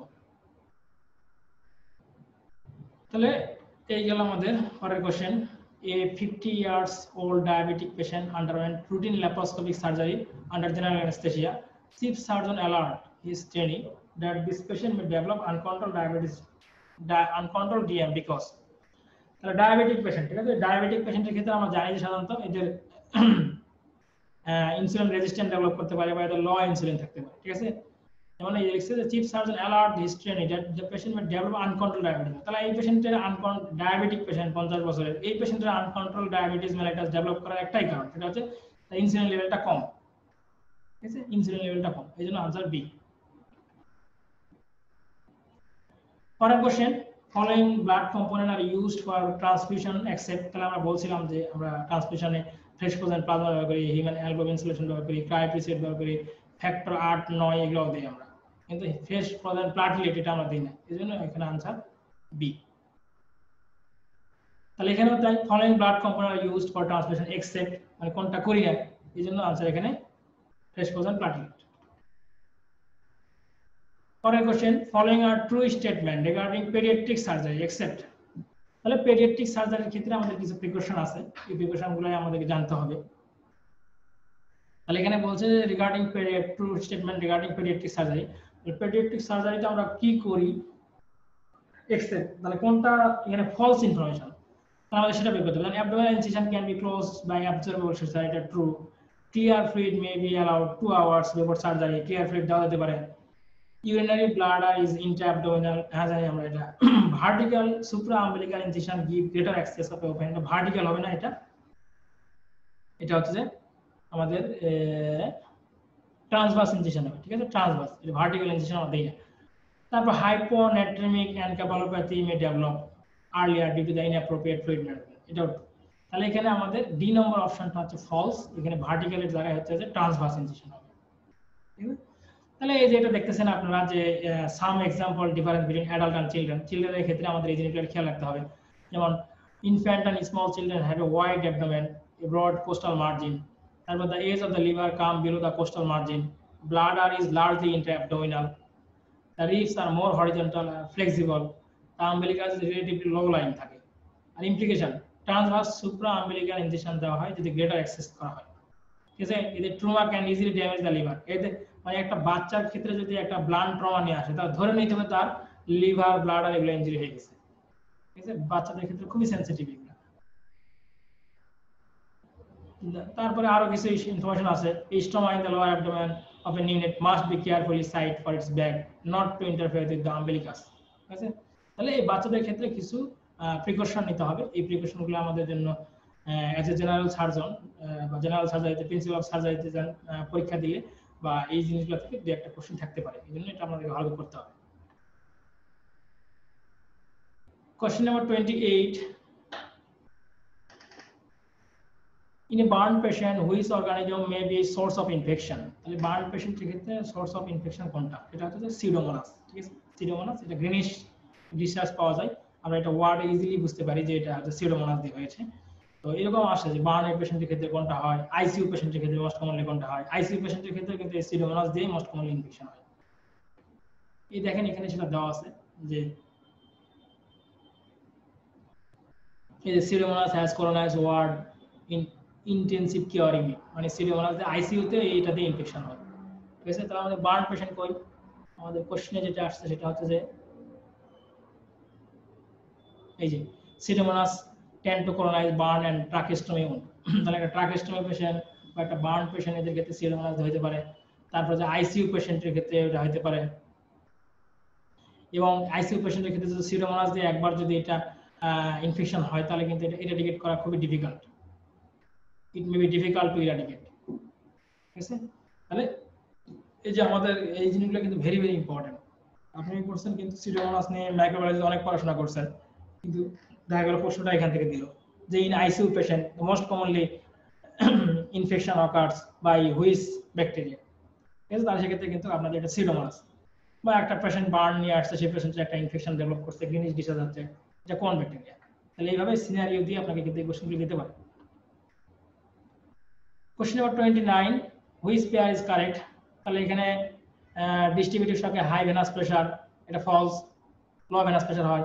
কার্ডিজেনের সঙ্গে হাই ম্যাক্সিমাম ভেনাস স্যাচুরেশন এটাও ফলস আমরা জানি যে হাই ম্যাক্সিমাম ভেনাস সেটা শুধু ডিস্ট্রিবিউটিভ শকে হয়। Hypovolaemic shock base deficit high আমরা জানি যে কি? সবগুলা শকেই বেস ডেফিসিট হাই থাকে। এই জন্য এটাই হচ্ছে true septic shock mixed venous saturation এটা এটা ফলস সেপটিক শকে মিক্সড ভেনাস স্যাচুরেশনটা অনেক হাই থাকে। Obstructive shock vascular resistant low hmm? তাহলে অবস্ট্রাকটিভ থাকে ডিস্ট্রিবিউটিভ শকে ভাস্কুলার রেজিস্ট্যান্ট ল থাকে। তাহলে দেখেন ওই একই জায়গা থেকে কত ভাবে কোশ্চেন করা যাচ্ছে। টেবিল থেকে ঠিক এখানে আনসার সি সেই একই জিনিস আমি আবার এখানে দেওয়ার চেষ্টা করছি এটা নিয়ে আলোচনা করতেছি না। তিরিশ a tedion বা লাস্ট কোশ্চেন আমাদের আজকে a tedion uh, uh, has the following characteristics তাহলে আমাদের একটা জিনিস জানতে হবে যে ট্যাডিয়ন অ্যান্টিডিয়ন এগুলোর হচ্ছে কিছু পার্থক্য আছে কোনটাকে টিডিয়ন বলব কোনটাকে আমরা আনটিডিয়ন বলব। তাহলে টিডিয়নের ক্ষেত্রে আমরা বলছে এক্সেপ্ট বলছে। ঠিক আছে? এই জিনিসগুলো ভালো করে আপনারা খেয়াল করবেন এক্সেপ্ট মানে টিডিয়নের ক্ষেত্রে কোনটা মিথ্যা? তাহলে এটা ইনসাইজ লুকিং অন ঠিক আছে ক্লিন এটা ঠিক আছে হেলদি অ্যান্ড ভাস্কুলার টিস্যুটা ঠিক আছে সেল ডাউন টিস্যু লস ঠিক আছে এক্সপোজ নিউ ভাস্কুলার বান্ডল এটা ফলস এই টিডিওনের ক্ষেত্রে সাধারণত এই নিউরোভাস্কুলার বান্ডলটা এক্সপোজ হয় না। মানে লাস্ট স্লাইড যেটা আমাদের, যে টিডি ভার্সাস আনটিডিওন টিডিওনটা হচ্ছে যে একটা ইনসাইজ টোন আর আনটিডিওনটা হচ্ছে একটা ক্রাস্ট অ্যাভালশন এই জন্য এগুলো নিউরোভাস্কুলার বান্ডলটা ইনভলভ হতে পারে।